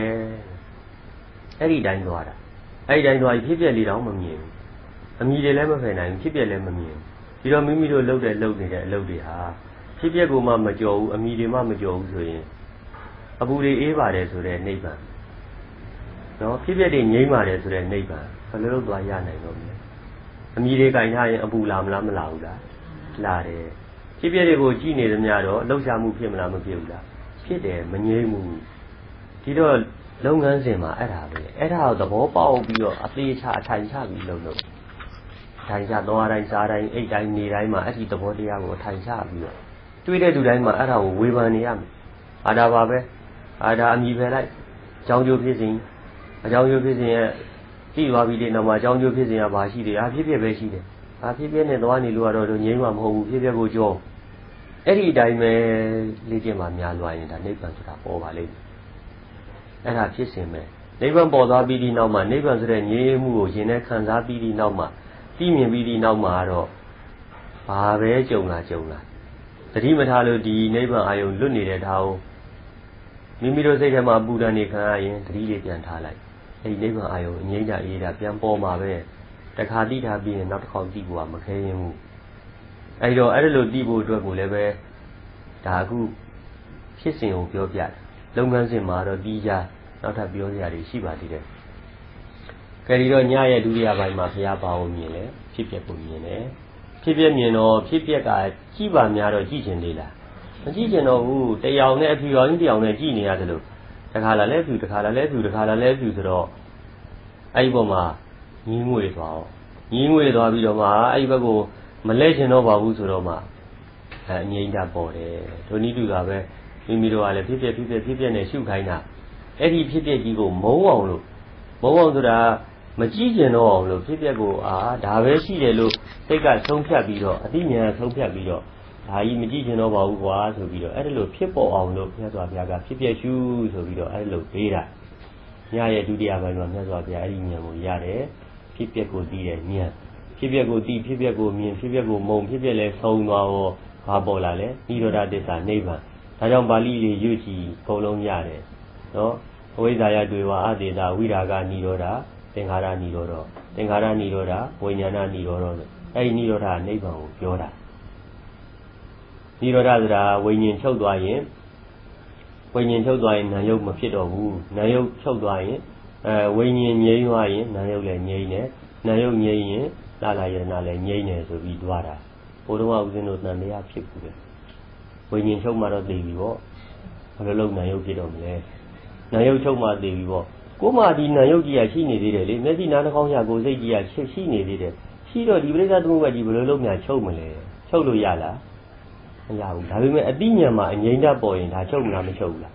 ချုပ်တယ်အဲ့ဒီဟာကိုအဲ့ဒီမြုပ်ွက်ကိုမတွေ့ဘူးတော်တော်ကြတဲ့အဲ့ဒီကိစ္စဒီနိရောဓကိုသဘောမပေါက်နိရောဓဖြစ်ပြီးချုပ်သွားတယ်ပြက်သွားတယ်ဆိုတာကြီးပဲသဘောပေါက် အဲ့ဒီမှာနိရောဓကနှမျိုးဆိုတာနောက်မှတည်ဖြစ်ပြီးချုပ်သွားပြက်သွားတာကိုခဏနိရောဓလို့ခေါ်တယ်သူကပြီးရင်ပြန်ပေါ်တာခဏနိရောဓအခုဖြစ်ပြီးတော့ပြက်သွားတယ်ပြက်သွားပြီးပြန်ပေါ်လားမပေါ်ဘူးလားပေါ်တယ်အဲ့ဒါခဏနိရောဓနိဗ္ဗာန်ဆိုတဲ့အဆုံးသတ်နိရောဓကြတော့အစ္ဆန္ဒနိရောဓလို့ခေါ်တယ်သာဝရငြိမ်းနေတာသာဝရငြိမ်းအေးနေတာအခုဒီမှာဝိညာဏပြည့်စရာ ဝိညာဏနိရောဓနာမရူပနိရောဓဆိုတာအဲ့ဒီနိရောဓသစ္စာနိဗ္ဗာန်ကိုဆိုလိုတာအစ္ဆန္ဒနိရောဓတခါတည်းတောက်လျှောက်ငြိမ်းနေတာဒါပေမဲ့အဲ့ဒီသဘာဝတွေဟာဒါနောက်ပိုင်းကျရင်သိပါလိမ့်မယ်မိမိတို့လေ့ကျင့်ကြည့်တဲ့အခါကျတယ်နော်ယုံ nant ကြီးကတော့ရှိနေတယ်ယုံ nant ရှိပေမဲ့စိတ်ကဘာဖြစ်နေလဲညှိတော်တာငြိမ့်နေတယ်ယုံ nant ရှိပြီးစိတ်ကညှိတော်တာငြိမ့်နေရင်ဝေဒနာဆိုတဲ့ခံစားမှုကိုငြိမ့်မလားမငြိမ့်ဘူးလား ဝေဒနာငြိမ့်ရင်တဏှာဆိုတာလာမလားမလာတော့ဘူးတဏှာမလာရင်အစွဲဥပါဒံဆိုတာမရှိတော့ဘူးအစွဲဥပါဒံမရှိရင်ဥပါဒံမပါတဲ့အပျော်အပြုတွေမဖြစ်တော့ဘဲနဲ့ဥပါဒံကင်းတဲ့အပျော်မျိုးပဲအစွဲမပါတဲ့အပျော်မျိုးကြတော့ဟိုရေတဲ့အယုတ်ရေးသလိုပဲဘာယုံမှမထင်ဘူးထင်းသလိုလိုနဲ့ပျောက်သွားတာအဲ့ဒါဘုရားရဟန္တာတွေရဲ့ပြုတဲ့အပြုမှုသူတို့ကနိရောဓဆိုတဲ့အငြိမ့်တာအဝိဇ္ဇာချုပ်ပြီးမှန်မှန်ကန်ကန်သိထားတဲ့ပုံကိုယ်တွေ အကုန်လုံးသိထားလဲသိထားဟောသူတို့မှနိရောဓနိရောဓနိရောဓနဲ့ချုပ်ပြီးသွားနေတာရုပ်ရည်နံတွေကတော့မချုပ်ဘူးမျက်စိနာနှာခေါင်းရှာကိုယ်စိတ်ကတော့မချုပ်ဘူးသို့တော့လုပ်ငန်းသဘောမှာပြိဿသမုပ္ပါဆက်ဝါကြီးကနိရောဓဆိုချုပ်ငြိမ့်နေတယ်အဲ့ဒါဘုရားယဟန္တာတွေရဲ့ဖြစ်စဉ်မိမိတို့ရဲ့ဖြစ်စဉ်ကြတော့ဒါမသိတဲ့အတွက်ကြောင့်ပြောလိုက်တိုင်းပြုလိုက်တိုင်းမှာအဲ့ပြိဿသမုပ္ပါအကြောင်းနဲ့ကြီးပဲဆက်သွားတယ်အကြောင်းနဲ့ဆက်သွားတော့အကျိုးတရားပေါ်လားမပေါ်ဘူးလားပေါ်တယ်မဆုံးနိုင်ဘူးကဲဒီတော့ဒီဖြစ်စဉ်လေးလည်းမှတ်ပါ အဲ့တော့လုံရမယ့်လုပ်ငန်းကတော့အပိုင်းနှစ်ပိုင်းနဲ့မိမိတို့ကြော်လွှားသွားမယ်လေကလေးကနှစ်ထစ်ပဲရှိတယ်ပထမတစ်ကအမိလေးကိုဖယ်ရမယ်ဒုတိယတစ်ကဖြစ်ပျက်ကိုတေးသေးချာချာအငြိမ့်တတ်ပေါ်တဲ့အထိကိုကြည့်ရမယ်ဘယ်ကြီးကြည့်ရမလဲအငြိမ့်တတ်မပေါ်မချင်းရတော့ဖြစ်ပျက်ပဲမြင်နေလို့ကတော့ကိစ္စမပြီးဘူးဒါကြောင့်မလို့အငြိမ့်တတ်ပေါ်တဲ့အထိဒါကြီးမကြည့်ချင်တော့ပါဘူးကွာဆိုပြီးတော့စိတ်ကိုရွှေ့နိုင်တဲ့အထိကိုအဲ့ဒါကြည့်ပေးရမယ်အဲ့ဒါမိမိတို့ရဲ့ဉာဏ်ပေါ်မှာမူတည်ပါတယ် တချို့ဉာဏ်ကောင်းတဲ့သူကဒီလောက်လေးနဲ့ပြောပြီးအဲ့ဒီဉာဏ်ကိုကြော်ချလိုက်တယ်တချို့ကျတော့ကြော်မသွားဘူးလမ်းရိုးလမ်းစဉ်တိုင်းပဲကဲမရောက်မချင်းရှောက်မကွာရှောက်ရှောက်ရှောက်ရှောက်ရှောက်အဲ့ဒါလမ်းအရှိအရှိသွားတယ်တချို့ကျတော့ဖြတ်လမ်းနေချုံလိုက်တော့မယ်ဒီကပြောတဲ့ဖြစ်ပျက်ဆိုတာတကယ်စဉ်းစားကြည့်တော့ဖြစ်ပျက်ဟုတ်သလားမဟုတ်ဘူးလားဟုတ်တယ်ဖြစ်ပျက်ကိုသိနေသမျှမငြိမ်းဘူးဆိုတာရောမှန်လားမမှန်ဘူးလားမှန်တယ်ဖြစ်ပျက်ကိုကြော်လိုက်ရင်ငြိမ်းမယ်ဆိုတာရောဖြစ်နိုင်သလားမဖြစ်နိုင်ဘူးလား ဖြစ်နိုင်အဲဖြစ်နိုင်တာတချို့ကျတော့ဖြစ်နိုင်တာတခါတည်းကြော်ချလိုက်တယ်ဟုတ်တယ်ဒီဒီချာချာဆုံးဖြတ်ချက်ချပြီးကြော်လိုက်ဖြစ်ချင်းရောက်တယ်အဲဒါလေးကတို့စမ်းကြည့်အောင်ပါပါဇဝေဇဝါသမားကြတော့ရှာကြည့်ရအောင်မယ်အမိတွေကလည်းမဖယ်နိုင်အမိတွေမဖယ်နိုင်တဲ့ညာဖြစ်ပျက်ကလည်းပဲအရှိကြီးလိုက်ကြည့်ရအောင်မယ်ဆိုရင်တော့ကြားနိုင်တာပေါ့အဲဒီတော့အဲ့ဒါဒီသဘောတရားမှတ်ပါဘုရားမြတ်စွာဘုရားဘုရားဖြစ်သွားတယ်ဆိုတဲ့လမ်းစဉ်ဟာအဲ့ဒါအကုန်လုံးပုဂ္ဂိုလ်တ attva တွေပျောက်ပြီးတော့ ဖြစ်ပျက်သင်္ခါရတွေငြိမ်ပြီးတော့နိဗ္ဗာန်ကိုမြင်သွားပြီးဒီနောက်မှာတော့ဒါနဲ့ပတ်သက်ပြီးတော့ဘာမကောင်းတာလုပ်เสียရှိသေးတယ်ဘာမှမရှိတော့ဘူးဖြစ်စဉ်မှာဖြစ်ပြီးပြည့်တယ်ဆိုတဲ့တဘာဝကြီးဖြစ်ပြကြီးဘယ်သူမှမတွေ့တာတော့မတွေ့တာတော့အဲ့ဒါကြီးကိုခုံမင်နေသက်ပြီးတော့အဲ့ဒါနဲ့ပတ်သက်ပြီးမကောင်းမှုတွေလာသေးလားမလာတော့ဘူးနောက်တစ်ခါငါဆွဲသူဆွဲဆိုတဲ့အမိနာမတွေမရှိတော့အဲ့ဒီအစွဲမရှိတဲ့ဟိုကအဲ့ဒီငါသူတစ်ပါးမှမရှိရင် ငါသူတစ်ပါးအတွက်ကိုလှုပ်เสียလိုသေးလားမလိုတော့ဘူးမကောင်းမှုတွေလှုပ်เสียမလိုတော့ဘူးအဲ့တော့မကောင်းမှုတွေလှုပ်လည်းမလှုပ်တော့ပါဘူးကိုကိုကိုငါလို့မတတ်မှတ်ထားတဲ့အတွက်ကိုယ်စီမှာမကောင်းတဲ့ဝေဒနာတွေခံစားရင်လည်းပဲငါမရှိတော့ငါထိเสียရှိသေးလားမရှိတော့ဘူးအခုကမိမိတို့က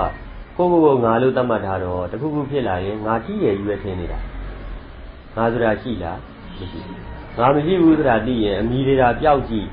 ငါလည်းကြည့်နေရအကြောင်းရှိသေးလားမရှိတော့ဘူးမရှိတော့ခန္ဓာကိုယ်ကဘလောက်နာနာစိတ်ကမနာဘူးဆိုတဲ့ခန္ဓာပေါ်လာတယ်အဲ့ဒါကိုယ်တာနာ၍စိတ်မနာစီနဲ့ဆိုပြီးတော့ဘုရားဟောထားတဲ့တရားတွေရှိပါတယ်အဲ့ဒါပဲငါမပါတော့ရင်ခန္ဓာကိုယ်ကဘလောက်နာနာစိတ်ကမနာအခုတရားထိုင်တဲ့အခါကြုံနေတယ်တရားထိုင်တဲ့အခါမခံနိုင်ပါဘူးဆိုတာအဲ့ဒါငါပါနေလို့ငါငါခြေထောက်ကြီးသွားတိတ်ထုံလိုက်ခြင်းငါရာဖယ်ထားကြည့်လိုက်ခြေထောက်ကြီးကဒစိမ့်ဖြစ်သွားတော့ ငါမဟုတ်တော့ရင်ဒီခြေထောက်ကထုံထုံချင်းချင်းဘီးဥဆိုင်သေးလားဒစိမ့်ကိုဘယ်သူမှဘီးဥဆိုင်နော်လူတယောက်လမ်းဘေးမှာတုံလုံးလဲနေတယ်ကိုယ်နဲ့ဘာမှမပတ်တဲ့ကောင်လှည့်ကြည့်လားမကြည့်ဘူးဘီးဥမဆိုင်ဘူးသူကလူပါဒီဒီခြေခြေပါမကြည့်အဲအဲ့ဒါကိုယ်ဆွေမျိုးသားချင်းပဲဒါမဟုတ်ကိုကိုယ်တိုင်တကယ်လို့လမ်းဘေးတုံလုံးလဲနေမယ်ဆိုတော့ကိုယ်စိတ်ထဲမှာခံနိုင်မလားမခံနိုင်ဘူးအခုဒီလိုပဲမိမိကိုယ်ကိုငါလို့တတ်မှတ်ထားတယ်အမိနဲ့တတ်မှတ်ထားလို့ဖြစ်ပေါ်လာတဲ့အကြောင်းတရားတွေဘာမှမခံနိုင်ဘူး နော်ဘာမှတီးမခံနိုင်ဘူးအဲ့မှာတီးမခံနိုင်တော့ဒီမှန်းတာပေါ့ဒုက္ခဒုက္ခရောက်တာပဲကဲအဲ့တော့ငါမရှိရင်ငါဆိုတာလည်းမထီတော့ခန္ဓာကိုယ်ကဘလောက်နာနာသူတို့မှဒေါသမဖြစ်ဘူးမနာဘူးမကျင်ဘူးဆိုတာဘုရားယန္တာတွေဘာဖြစ်လို့လဲသူတို့ကငါလည်းမရှိတော့ငါမရှိုံနဲ့မကောက်ဘူးဖြစ်တဲ့တည်းရဲ့ချုပ်ရငင်းရလိမ့်ရဖြစ်တဲ့ဘာကိုမြင်ထားလဲနိဗ္ဗာန်ဆိုတဲ့အငြိမ့်တတ်ကြီးကိုလည်းမြင်ထားပြီးသားပဲဒါကြောင့်မလို့သူတို့မှာတော့အကြီးအကျယ်ကိုရှင်းပါတယ် တဲ့ကဲဒါဆိုရင်ဒါအချိန်လည်းပဲရှိသွားပြီနော်ဒီဖြစ်စဉ်လေးတွေကြာဝေဖန်ကြည့်ပါမိမိတို့အလုပ်လုပ်မဲ့လုပ်ငန်းစဉ်မှာခြေခြေပြက်ပြက်တိတော့မှအလုပ်ကိုဖြောင်းအောင်တန်းတန်းလုပ်နေမတိဘဲနဲ့ရမ်းလုပ်လို့ကတော့အချိန်ကြာတယ်လူရင်းလည်းမရောက်ဘူးဒါမှမဟုတ်ခုအကြောင်းကျိုးဆက်ဆက်တဲ့ဖြစ်စဉ်မှာနိဗ္ဗာန်ကိုမြင်ခြင်းရင်နံပါတ်1ဘာပယ်ရမလဲမြည်ပယ်ရနံပါတ်2ဘာကိုငြိမ့်တဲ့အထိကြည့်ရမလဲဖြစ်ပျက်ကိုငြိမ့်တဲ့အထိကိုကြည့်ရအဲ့ဒါပဲ အဲအဲ့ဒါလို့ကြည့်နိုင်ဖို့အတွက်ဘုရားကိုထောက်ပံ့ပေးနေတာတွေကအတွေ့အကြုံရင်းချက်ချင်းအချိန်ကောင်းခြင်းနေရာကောင်းခြင်းအချိန်ကလည်းအေးချမ်းရမယ်နေရာလည်းအေးချမ်းရမယ်စိတ်ဓာတ်ကလည်းဘာဖြစ်ရမလဲခိုင်မာရမယ်ဘုရားမဖြစ်ခြင်းဘုရားမဖြစ်မခြင်းငါဒီနေရာကမထားတော့ဘူးဆိုတာစိတ်ဓာတ်ခိုင်မာတယ်အဲ့ဒါလို့စိတ်ဓာတ်ခိုင်မာရမယ်စိတ်ဓာတ်ခိုင်မာတဲ့ကဝိရိယဆိုတဲ့ကြိုးစားမှုကပါပြီးနေပြီသိခြင်းသေးသေးကွာဆိုတာဝိရိယပဲနော်ကြိုးစားအထုံးမှု ဝိရိယပါတယ်နောက်အတွေ့အကြုံရင့်ကျက်လာတဲ့အခါမှာဆင်ခြင်သုံးသပ်နိုင်မှုအားကောင်းတဲ့ပညာပါလာတယ်အတွေ့အကြုံရင့်ရင်ဘာပါလာလဲပညာအတွေးနဲ့အကြံအတွေးနဲ့သုံးသပ်ဆင်ခြင်ဆုံးဖြတ်မှုကောင်းမွန်တဲ့အကြံနဲ့ဆုံးဖြတ်ချက်ချတဲ့ပညာအဲ့ဒါပါလာခုဝိရိယပါပြီးပညာပါပြီးစိတ်တရားအချိန်ကရေးချမ်းတော့နေရာကရေးချမ်းတော့ စိတ်ကလည်းပဲဇံဝင်စားတယ်အာယုန်တစ်ခုတည်းမှာစူးစူးဆိုင်ဆိုင်ကြာတော့စိတ်ကငြိမ်သလားမငြိမ်ဘူးလားတမာတိပါလာအဲ့တော့ဘုရားဟောထားတဲ့နိဗ္ဗာန်ကိုမြင်ရရေးလုပ်ငန်းစဉ်မှာဘာရိယထောက်ပံ့ပေးပါလဲဝိရိယရဲ့တမာတိရဲ့ပညာရဲ့အကျဉ်းစီဝိတက်ရဲ့တမာဒိဋ္ဌိပညာတမာသင်္ကပ္ပအတွေ့အကြံတမာဝါယမလုံလဝိရိယတမာတမာတိစိတ်တည်ငြိမ်မှု နော်တမာတတိတစ်ချက်တည်း၅ခုအဲ့ဒီမဂ်ကင်၅ပါးနဲ့အချိန်တိုင်းဖန်အဲ့ဒီမဂ်ကင်၅ပါးနဲ့ညီတော့မှာခုနပြောတဲ့ဖြစ်စဉ်တွေမှာအသိဉာဏ်တွေကတပြေးပြေးထက်ထက်ထက်ထက်ပါလိမ့်မယ်အဲဒီတော့မဂ်ကင်၅ပါးနဲ့အလုံးလုံးတဲ့အခါမှာဖက်လီဝင်လေးလေးကနေဘယ်လိုလုပ်ရတယ်လဲနောက်တစ်ခါဒီပြင်ຢာတွေကနေဘယ်လိုများမဂ်ကင်၅ပါးဝင်ပြီးတော့အဆုံးထိရောက်နိုင်တယ်လဲဆိုတာတွေကတော့ဒါနောက်ပိုင်းကျမှပဲဆက်သွားကြပါချိန်ကြည့်ပြီးတော့ဒါဗုဒ္ဓဒါနံစီရန်ဒိဋ္ဌိဆုံးကြတယ်အဆုံးသတ်ကြရအောင် ဗုဒ္ဓသာသနာစီရန်ဒိဋ္ဌတုဗုဒ္ဓသာသနာစီရန်ဒိဋ္ဌတုဗုဒ္ဓသာသနာစီရန်ဒိဋ္ဌတုသာဓုသာ